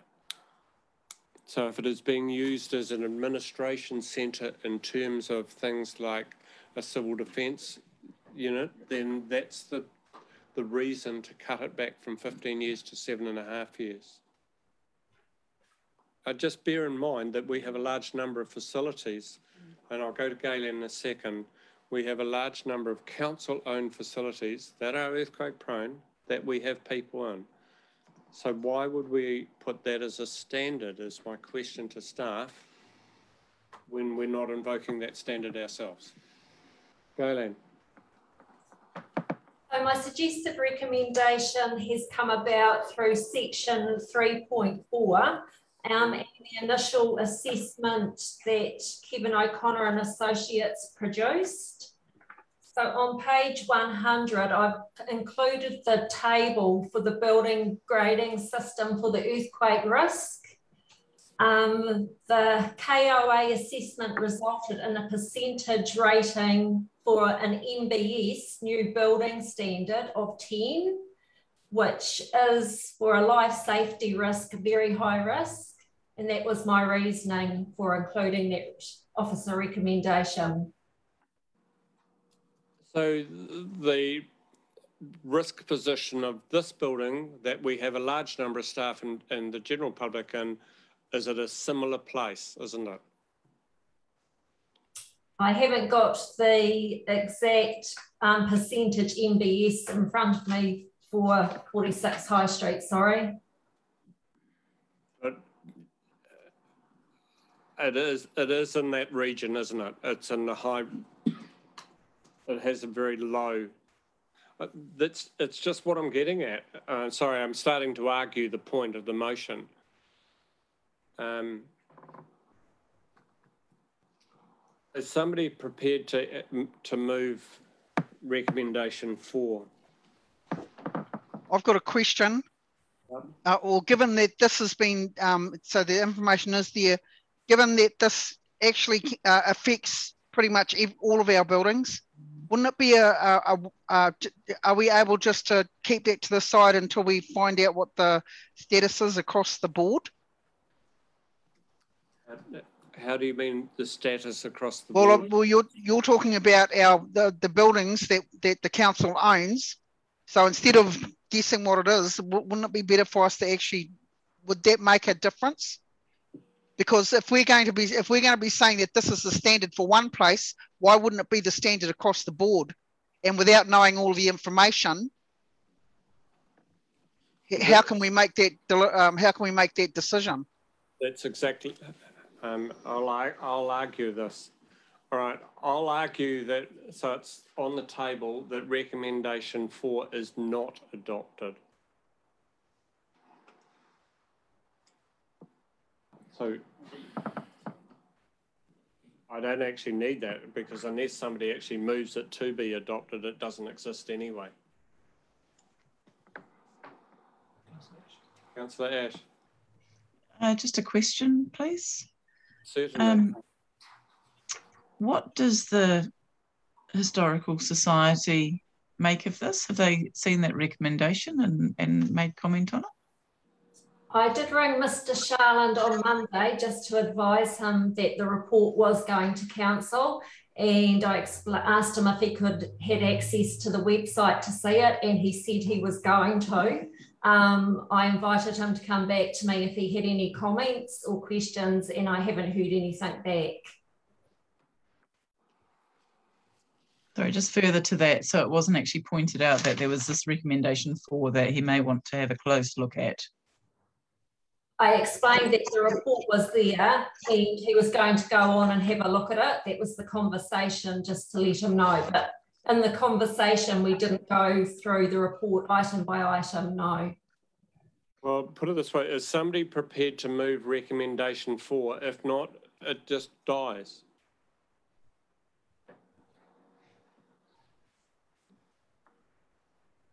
Councillor Gordon, are you prepared to move recommendation four? I have a question.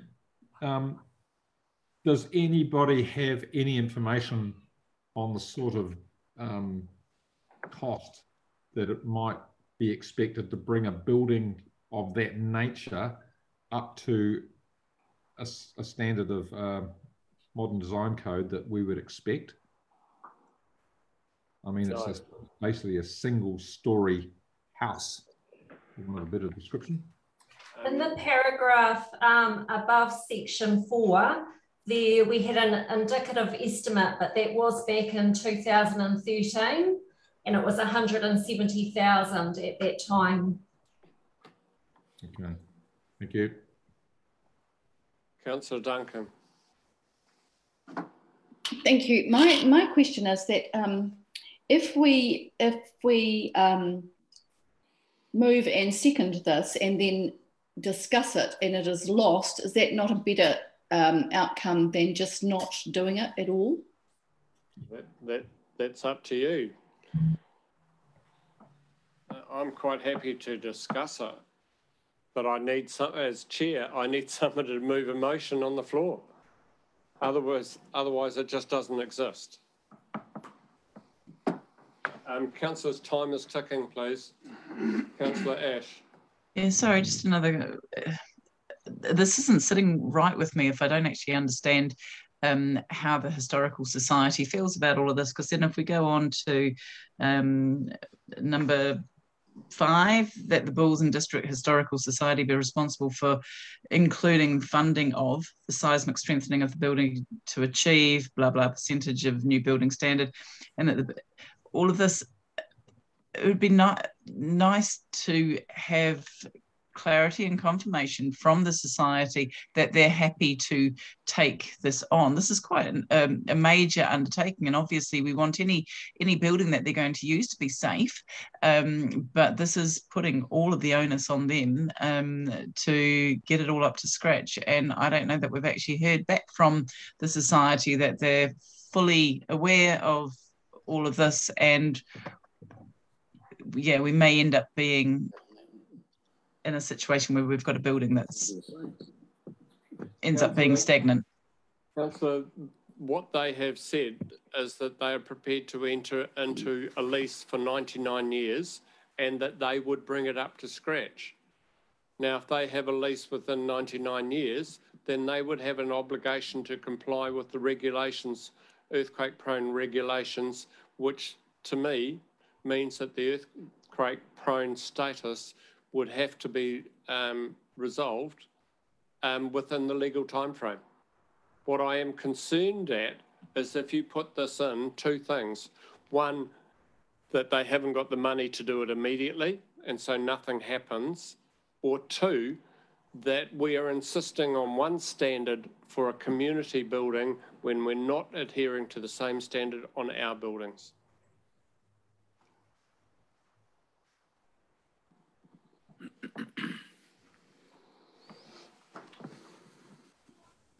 So unless somebody's prepared to move a motion in the, in the next 30 seconds, I'll move on. Councillor Gordon. I'd like to know um, what is our liability as the owner of that building if we tenant, if we lease it out to someone else um, in an unsafe when it's unsafe, we know it's not safe, um, and they fail to bring it up to whatever the percent of modern code is. Are we still liable as a council, or do we pass the liability on to them? You, me, you or me? Because I have a very strong view about this. What go? Okay, my understanding would be that if we lease it out to them, um, they have an absolute right to occupy it under the current earthquake prone legislation.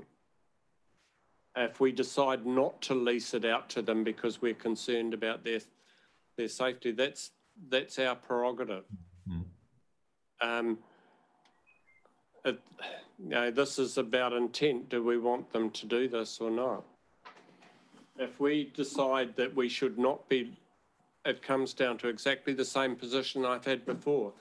So if we decide that we don't want people in the building because it is unsafe, then it raises a real question mark in my mind around the same standard should apply for us for buildings we own. Because they are in very similar standards. Um, yeah, uh, something for you, elected members, perhaps to consider is that I, I, I um, have wanted this recommendation to be in there. Um, as a chief executive, I am responsible for the buildings, um, and uh, I am responsible for all my staff and the public that enter into council buildings. And we have um, an assessment on the building we're in now.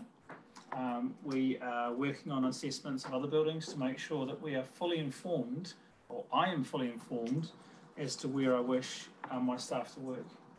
Um, this is uh, not about my staff so much as uh, us going into a lease on a building that, again, falls under my jurisdiction um, as a, in terms of health and safety responsibility, the report identifies this as a very high risk building, the lowest standard you can get. Uh, and the intent of this recommendation is on the balance of what the conversations we've had with the Historical Society is that they want to get in there, strengthen the building, put their um, memorabilia, etc., into it. And that as a, a trust, they could attract funding that perhaps council couldn't. Now, this is saying we just need you to do that work before you fill it up and put people in it. That, that's the intent. Um, and that would be my wish as chief executive from a the safe perspective of a building that we would lease. As I said, councillors, I need someone to put a motion on the table. Otherwise, I'll just move on. I'm happy to move motion if somebody would second it. I'll second it. Oh, finally. You wish to speak to the Yeah, I do wish to speak to it. Um, the chief executive has said, exactly what I was thinking. We cannot con- contract out of our rights and responsibilities for the safety of this building, no matter what we put in place as far as a lease is concerned. We are last man standing and we take responsibility of it. If it was ten percent in two thousand and thirteen, I can assure you of one thing, it has certainly not got any better, uh, with regards to its, uh, earthquake strengthening. You know, that's, uh, seven, eight years ago now, and we've had a couple of several little shakes between there, so it's probably getting, gonna be looking worse. It's a current NBS, National Building Standards. They were completely different back in 2013 to what they are now. So um, we heard from Mr. Sharlin this morning. He's extremely enthusiastic about the support that he's going to get from the people of Bulls. They are aware of what's required to strengthen that um, uh, that building, and and and they seem very positive that it was going to be quite a simple project uh, process for them. I don't think there's anything untoward with uh, recommendation four is what it is. I think it should be voted on, endorsed, supported and moved on so that we can complete this lease, get this information back to Mr. Shalin and the Bulls and District Society as we have indicated and we'd be back to with an answer today. Any further speakers to the motion?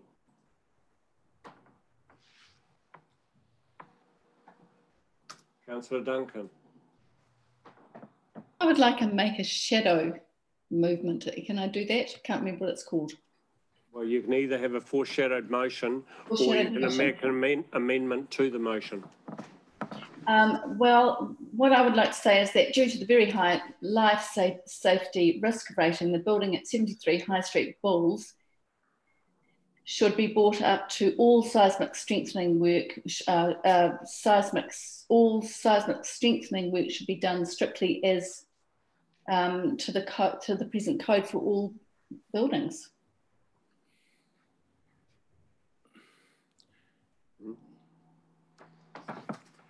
Any further speakers to the motion? I'll speak to the motion. Uh, Look, the, the Historic Society, the Bulls um, Museum Group have said that they are willing to cover the costs for the seismic strengthenings and they've had the opportunity to read through this report, I would presume. So I'm quite happy to support the motion and say that's what they, they are preparing to deal with the strengthening. So let's put that in there as a requirement and maybe that will help them receive some external funding as well. That, that is a requirement before public can enter the building. So I'll support the motion. Yeah, I'll, I'll speak against the motion. My concern is not about doing it. My concern is that you may well put them in a position where they say, um, that's not practical for us to do immediately. That it, that it will be a four or five year visit to do this. Um, I just don't know their intentions. But I certainly am concerned that effectively we're proposing a standard on other buildings that we don't accept for our own. Um, right of reply? Quick right of reply. I think the answer to that question and your concerns may well come out of when the chief executive enters into a, a lease negotiation with the Bulls and District Society. And that may allay your concerns at that stage, so. The motion's, oh, sorry, I can't comment. Right, I'll put it to the vote. Those in favour?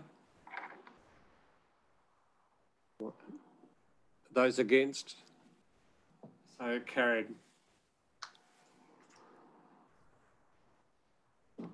Um, recommendation five, this is the term. So, um, perhaps we run through these in, in turn. One, that the lease be, have we got a consensus over the number of years? Does somebody like to move? Um, there was a recommendation from, uh, Ms Prince around this, which Oh. was how many years? I'll move 35. Thirty-five years. Five years or less. If it's somebody's motion, would somebody like to run down what they would like in it in terms of? I'll, I'll move 35 years, that the term of the lease be, that there be a nominal rental of $1 GST exclusive per year, and that the Bulls, sorry, item five on the recommendation, uh, that it's brought up to 67% of New Zealand, uh, new building standard. Second that. Yeah, it's your motion. So you're moving that, you're seconding it. Um, do you wish to speak to it? Uh, no, it, it pretty much covers the, the information that's been provided in the report. Um, so I'm happy to put those, rec- those terms to the lease.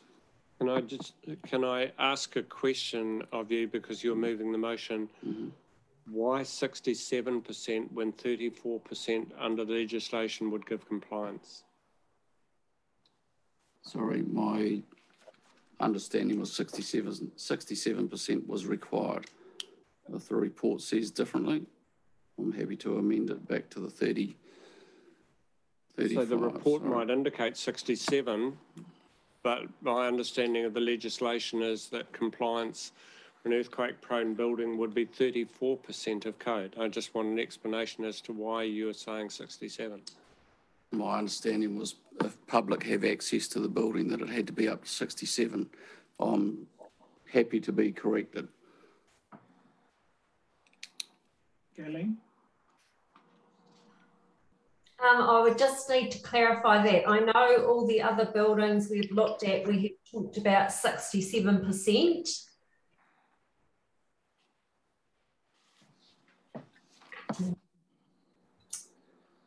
Mr. Poynton's online. I'm just wondering if I can check if he knows the legislation.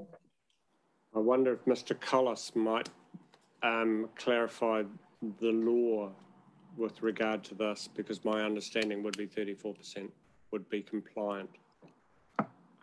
You can have all sorts of other uh, aims and things, but I think thirty-four percent is the the code. Uh, councillor Ash.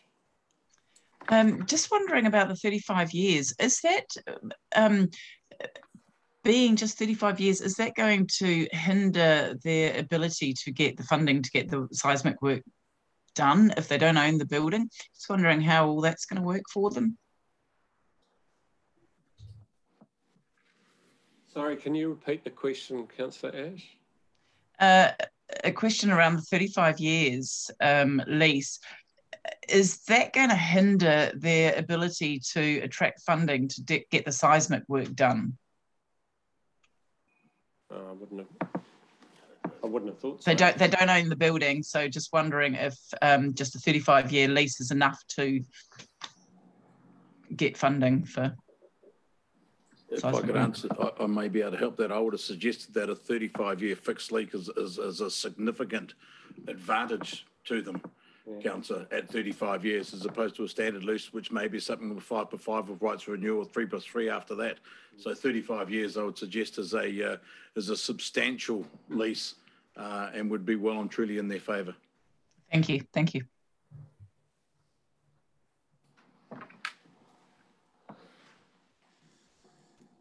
Um, Is someone chasing? Uh, Johan isn't here. Um, Graham, Look, I'm, I'm happy to have that if it can be put in the recommendation that it's, Jess, Jess. is sorry, okay. Hi there. I wanted to add in, sorry, excuse me. Just, sorry, I wanted to add in that the legal minimum is 34%, and that since 2017 there are two risk levels. One being buildings that are 0 to 20% and buildings that are 21 to 34%. But 34% is considered the, the legal minimum for a building. Thank you. Sorry, is that up to 34 or was it 35? No, th- thirty-three is actually, but so 33 is the, is the level, The right? number you'd want to put in here based So on the. I'm happy to alter that to 34%. I'll second that as the second. Well, You're happy with that amendment? Yeah. Yeah. Right. it- I mean, you can understand my Yeah, question. yeah, no, I can, I can. Right. Um, did you finish speaking to? Yes. Right, other speak.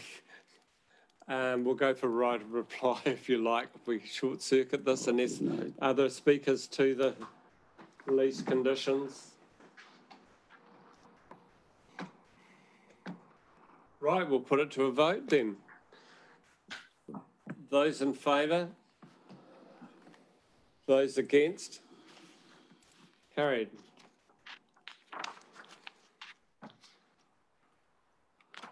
Recommendation six is that if council determines that a lease be entered into with the society that the Bulls community be advised that council now will now, not now be considering a design brief for the green space. Look, I'll, I'll so move. Second. Councillor Wilson seconding. Uh, does anybody have a? I don't think I need to speak to this. In other words, they're going to sort it effectively. I'll put it to the vote. Those in favour? Aye. Those against? Carried. Um, recommendation seven, does somebody want to move, presumably that we permit the erection of the statue? Councillor Duncan moving, Councillor Carter seconding. I think I could put this straight to a vote. Uh, those in favour? Those against? Carried. Recommendation eight. That it be for you, Dick, be, able to- this is procedural stuff, surely. Uh, do we really need this? We can do it. Those, uh, somebody like to move? Look, I'll move, looking for a second or two. Uh, councillor Carter, um, those in favour? Those against? Carried. I'm not quite sure we're down at this operational level, to be honest. Sorry for that. Can I pause for a breath here? Uh, we do have some um, uh, critical uh, decisions to be Yeah, made, I was and I gonna go note your there. point. I'm wondering if I could pause section ten point three, but move to ten point four. And if there's time, we can go back to ten point three. Yeah, what I was going to suggest, I was going to do exactly that. Um, which of the items left in the agenda are absolutely critical to achieve? Um, 10.4, 10.5, 10.6, and two papers in public excluded. 10.4, 10.5, 10.6, 10.6. and two papers within public excluded. Okay, so 11 could potentially drop out. Yes. Um, and two papers in. Although I would want, if there was time to prioritise 11, I would like 11.3. Mr Jones is here, and I think there is information that I would like elected members to be familiar with, if it was possible, Your Worship. Look, I'll take the advice of the, the operational team. So if you tell me where you would like to go next. Uh, I'd like you to go to 10.4, and then 10.5, then 10.6. I suggest we get Jess in the room, it might be easier, yeah. Yeah, okay. Yeah, thank you. Um, Right, I was just moving straight on to ten point four, the bus lane, town square. This is the revised construction contract. I'm actually, your worship, prepared to move one, two, three, and four on that, and I will speak to you my reasonings behind that. So you're prepared to move 10.4, 10.2, 3 and four? Yeah, one for the receipt of two, three, and four, yes. Uh, looking for a seconder to be able to move them as a block. Um, we'll go councillor Carter because it's ma- uh, because it's Bulls. Just- Sorry, councillor Lambert, I'll come back to you at another stage, even though you were first. Uh, she doesn't have to. It's fine.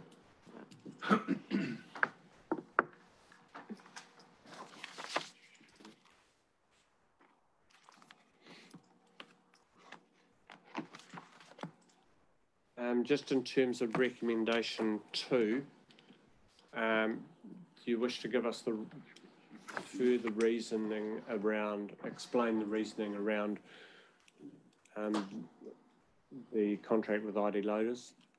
Jess, please. Jess, over to you, please. Hi, thank you. Um, the contract with ID Loaders was procured openly via Tenderlink over a year ago now, about 16 months ago now. Uh, so the procurement policy was fully complied with, and ID Loaders' uh, contract start was then deferred. So it went through the competitive process, in other words, and that was the decision you've come to. That satisfies me there. Um,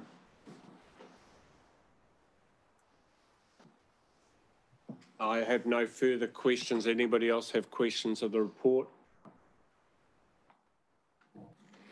No. Do you wish to speak to your combined sets? Yeah, just, just to, um, to reconfirm, and thank you, Jess. Uh, yes, this, uh, this contract was previously let.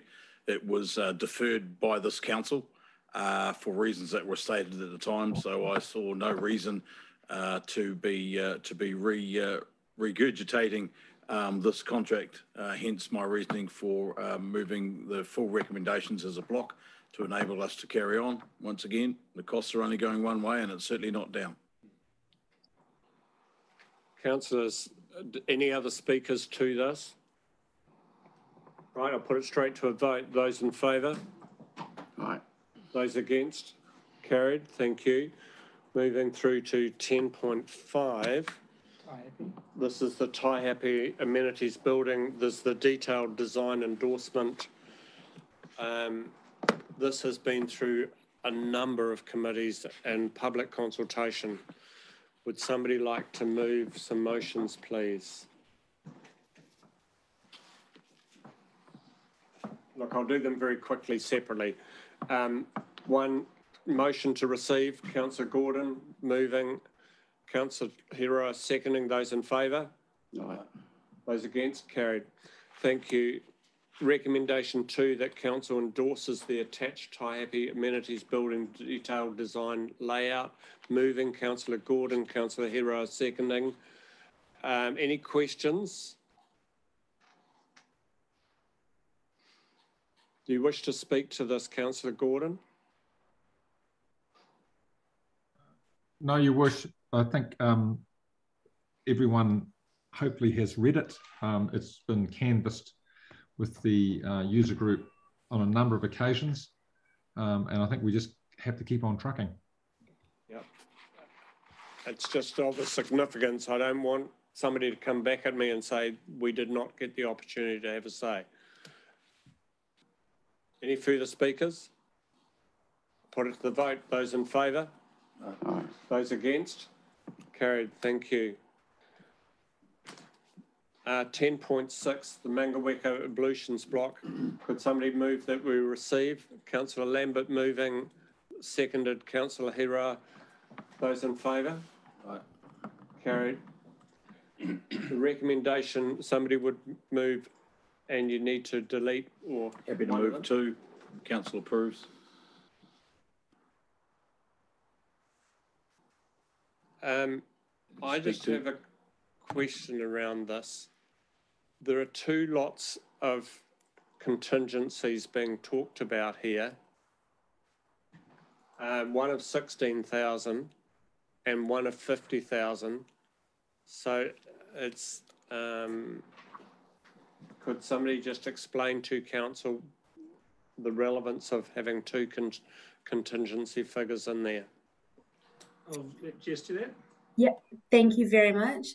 So the contingencies have two different purposes. There is sixteen thousand that is held within the construction contract with the proposed contractor Emmets, and that is for known variations that we don't know the cost of yet. They are the moving of the playground to its new location, the relocation of the gas and the pay wave system that will be used. We know we will require them. We've got estimated costs, but they couldn't be finalised in advance. The other contingency, $50,000, is held outside of the construction contract, and that is for completely unknown items that could arise during construction. The kind of things we would expect to see would be um, perhaps a poor area of ground requiring a slight change to a foundation, or finding a cable in the vicinity of the foundation that needs to be moved over. 50,000 is for items that may be uh, may be identified during construction, and therefore it is a reasonable amount of budget to allow for those eventuations. Uh, but similarly, we don't know what they are yet, so they're held outside the construction contract. Um, thank you. There seems to be no consideration of the existing block that is there. I'm presuming that it's, that we own it, that it's not leased.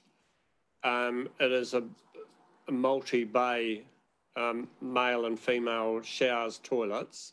It is. that has, would presumably have a considerable value. I see no mention in the report around either having that being sold or taken elsewhere. Um, but surely, um, this is part of the project uh, and an asset to be realised. I always, uh, is it all right if I speak? Uh, you, so I hate to split hairs. However, that really is far outside the scope of the project. Uh, you are correct. We own that sort of portable toilet and shower block, like the kind you'd find at a festival, perhaps. Um, but the what happens to that is outside the scope of constructing the new shower and toilet block. What I will say though, um, you know, within my role is I have spoken to Gaylene at length about it. We she she understands that it has considerable value, and as that asset sits within her realm, effectively it'll be returned back to her, and Gaylene will either make decisions or come back to council around its ongoing use. We may have, and she has some ideas, we may have places in the district it could be relocated to where it be very well used. She may also recommend that it is sold, but that is quite far outside the scope of a capital works project. I, yeah, I just wonder why it's outside of scope when it, it's part of the, the project and an asset to be realised as part of this project, that's all. That's why I was surprised that it wasn't included in any shape or form. I understand. I think the way that we saw it was it is an asset that we already own. It is a relocatable asset. So it would in fact be picked up and moved somewhere else. And um, the new shower and toilet block doesn't go on the same piece of land. So really it, it could stay there for another two years, three years or five years, you know, um, with the new one in use next to it. Um, so, so while I guess I'm saying it's outside of scope, Gaylene and I have put our heads together about it, and she's well across it with the future uses of that building. Okay, thank you. I'll leave it there. Um, Councillor Wilson, you moved. Yep, um, I think councillor Carter, no, who's Lam- Lambert, I think it was. No, Um, no, maybe. We'll put councillor Lambert in there as well. Do you wish to speak to it? Uh, yeah, very quickly, look, another delayed project. Um, this, it's been around this, um, council table before, delayed due to the construction of the Mangaweka Bridge. Um, very pleased to see it back up and, and running, so let's move on. Any speakers to it? Put to vote those in favour? Aye. Those against? Carried. The next recommendation around approving or not approving uh, the addition of the further fifty thousand dollar contingency to this project, increasing the budget, project budget to four hundred and twenty-five thousand, et cetera. Happy to move that. Chair of Assets, Chair of Finance, moving, seconding. Um, do you wish to speak to it? I think it's been clarified by, um, by Jess in the operations there. Right, I will put it to the vote. Those, those in favour? Those against? Carried, thank you. May we please go to eleven point three worship to release Mr Jones and then we can go to public excluded if that's convenient. Thank you. Mr Jones, I'm sorry we've kept you um, sitting there. I'm sure you've del- been delighted in the conversation. But if you would like to take us through the roading program 2124, confirmation, please. Um, yes.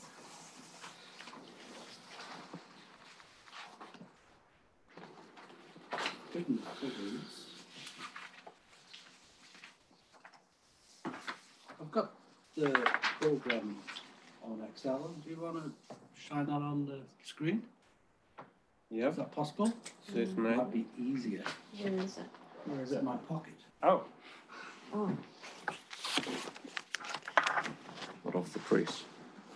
Um, excuse me, page number, please. One four zero.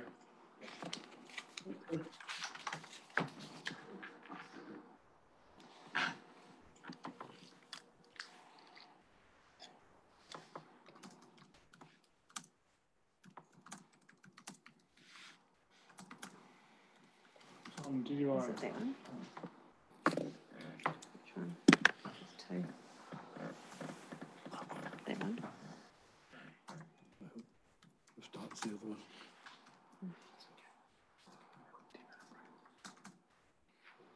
No, it's the other one. It had to be. Yeah.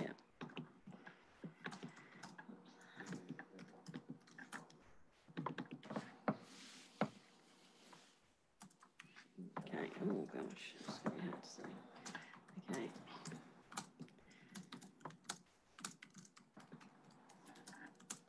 All right, you start talking, John, and I'll share it. Can't. You can't? I can't.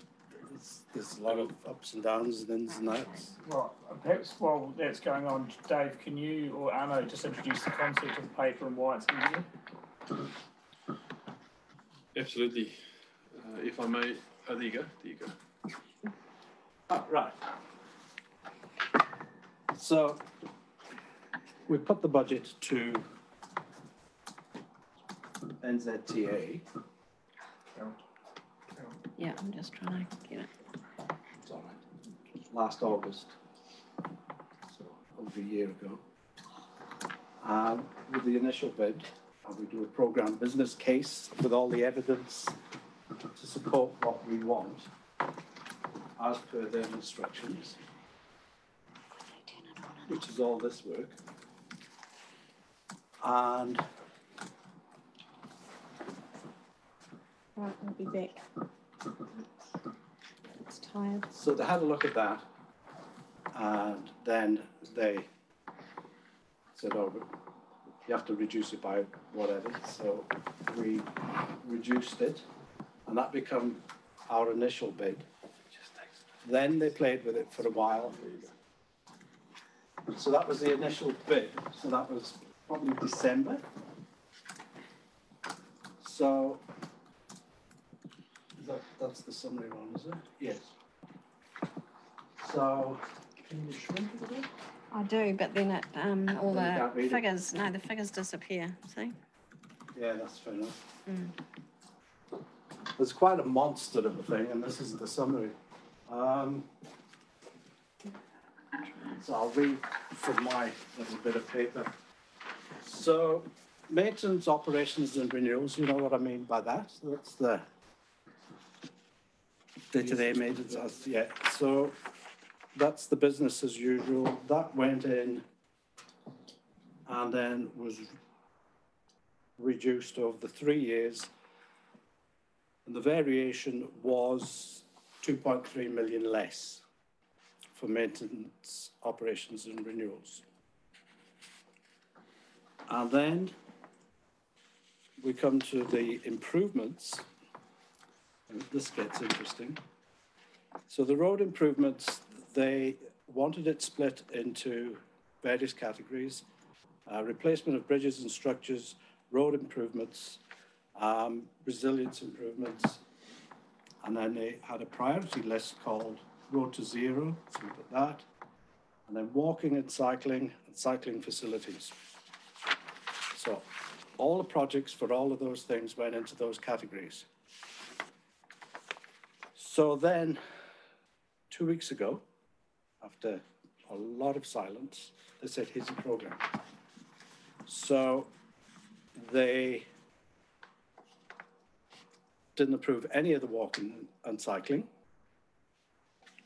They reduced the road to zero from 1.5, well, for this year, 1.5 million went down to 345,000. And then all the other stuff, they just lumped it into one category, um, road improvements. So we just got a one figure. So within their system, they've got TO's an online system, it's huge, it's pages and pages of it. They've got all the list of programs, and then they've got the final amounts of money that they approve. But we found out yesterday they hadn't aligned all the program that was in it with the amounts of money that had been approved. So there was walking and cycling stuff shown in the big long list as approved, but in the front end of it, where they actually give the money, walking and cycling was not approved. So, so as I understand it, what's happened here is I thought there was a contestable, uh, there was a phrase that came out that the, a certain amount of money could be released as contestable at one of the meetings I was at. So I then said, how do we, I went to um, Linda Stewart and said, how do we, does that exist? How do we apply? Because we don't seem to have been funded for the bridge between Hereford and, on Hereford Street between the two schools. She came back and then said, yes, it has been approved. Yeah, what she did, she didn't know, so she went to Rob Service, who is the guy in Palmerston North, who went into the one part of TO, which had, which I just described, which is all the list of projects, and they had some that were approved and not approved. But that list has not been adjusted to their final approval. And I spoke to Rob and he said he's deeply sorry, there is a disconnect and they're working on it. And I said, so if there is a project that's near and dear to council's heart, can we reprioritise the list? And he says, I'll get back to you. So we're waiting on that. So it could be a negotiated thing. Yeah. Yeah, I've got some other questions relating to all this in a Okay. minute. So- So to summarise, if I may, uh, when this paper was written, we knew that we'd had changing funding from NZTA for our various roading programs. I asked the team to provide the impact both in terms of uh, finances and projects. Um, the, the table that was in the paper of the projects that were no longer funded was accurate at the time. What John is now saying is that there is confusion even amongst NZTA. So I would um, ask for you to um, perhaps at your at your um, um, okay, Your Worship, that the paper be received, but note that you would like a further update on the anomalies that have been identified since the paper's been um, released to you. Yeah. So what we're working on, because we've only had this like for two weeks. So those are the ups and downs on the various funding categories. If you go down a bit.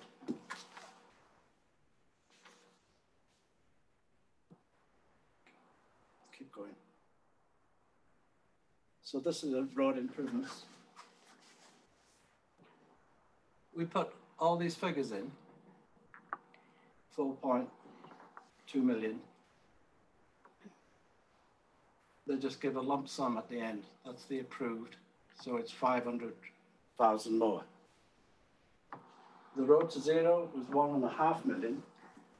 They've given us three hundred and forty-five thousand. And that's for safer journeys for schools. That's um, active warning signs. Walking and cycling, we had the walking and cycling in Road to Zero because we that was a priority thing. They said no, put it in walking and cycling. So we put it in walking, walking and cycling, and then they didn't give us anything. Yeah, um, my concern around this roading program um, is quite high. And the reason I have the concern is prior to an LTP, you put out a proposal to, to Waka Kotahi for approval of funding. Yes. Just, and then immediately before the LTP was signed off, they removed seven million over three years, uh, or that order of money. Five point four. Yeah. So well, let's, okay, let's say. A, a lot of money. A lot of money. Let's let's say five million is removed or a couple of million dollars a year effectively. Yeah. We then adjusted our LTP on that basis. Yep. So we struck a rates position on that basis. Then subsequently, after our LTP was um, approved and embedded, they have then come back to us and said, well, actually, government has had a relook at this, and we're now prepared to give a whole chunk of that money back. Not all of it. haven't told us any of that. Well, that's, that's the message that I get, um, that the government has put money back into the pot. Right. Prioritising, um, maintenance and other issues. Yep. So we, we're talking to our investment advisor, which is Rob Service at Palmerston North, and he's got no information on this whatsoever.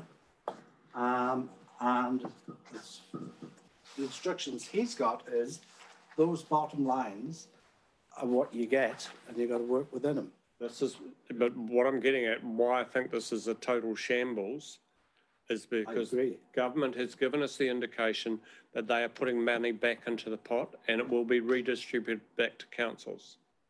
And we're yet to be advised. Yep. Now, the problem with that is we have struck a rate position. Now, I've gone to Waka Kotahi and said, presumably that will be on a far rate basis, and they've said yes. So you're getting money back and on a far rate basis. So we can use it, but effectively, we have to find money to resource our 37, our 47% or whatever it is. 53, 100 minus 50, uh, 63. Five-ish. Yeah, 40, 47.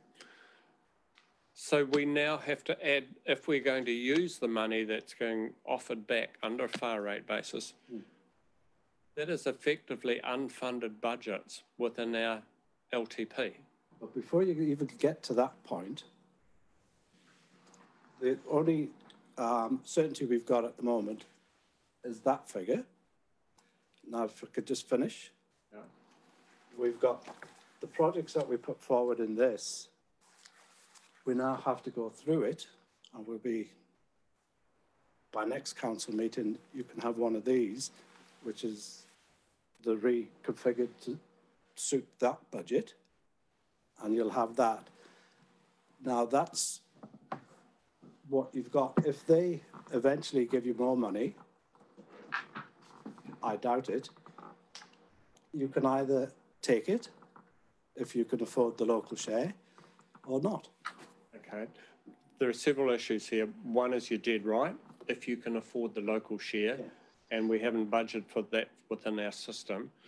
Secondly, that if they're giving money back, then we would have to, the council would have to reapprove the asset management plan for roading. Yeah, well, that So part. You would have to come back with a variation and say, um, this is what you've agreed to, councillors.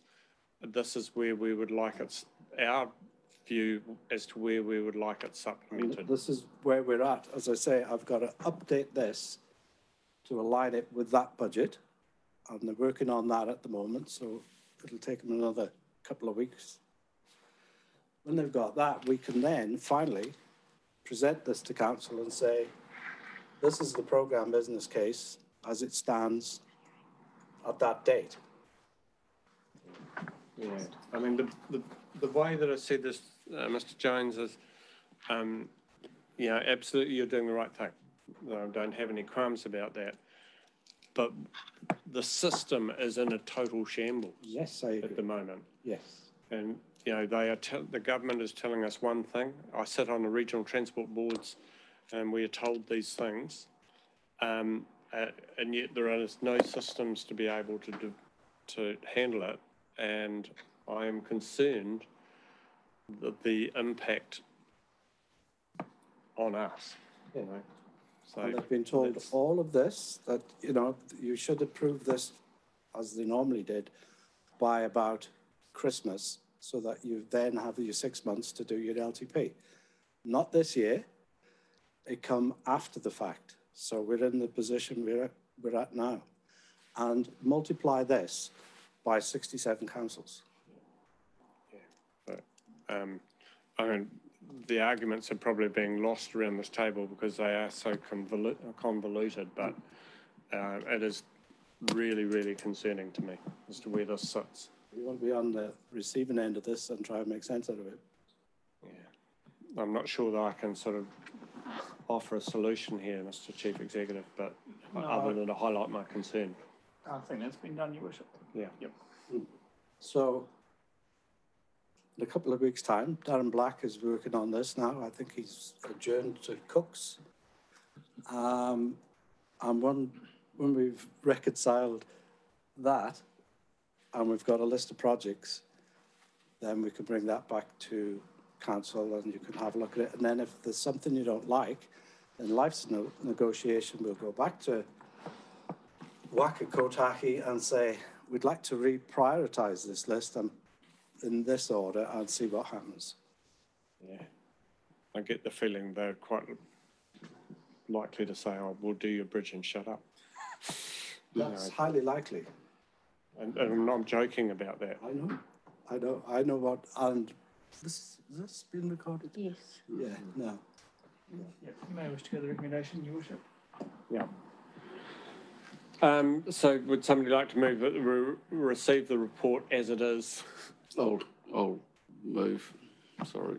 No, unless you're taking someone online. Sorry, excuse me, can, can you, can I have a question?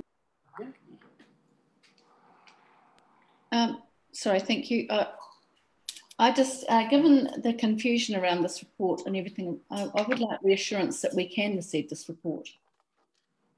Um, you're receiving it as the report that we have at this moment in time, essentially, councillor. Um, I've raised a number of questions around it. The staff are going to have to do a lot of work around this. Um, and I suspect Waka Kotahi will be burning overnight hours trying to resolve these issues. Maybe, maybe not. So councillor Belsham's moving, seconded. I'll second. Those in favour? Those against? Carried. Five minutes and. Yeah. Should- could we just note on this one because, and, and, and I'm mindful of the time, but as this is a public document that we're looking at here, the following walking and cycling programs will now not be funded.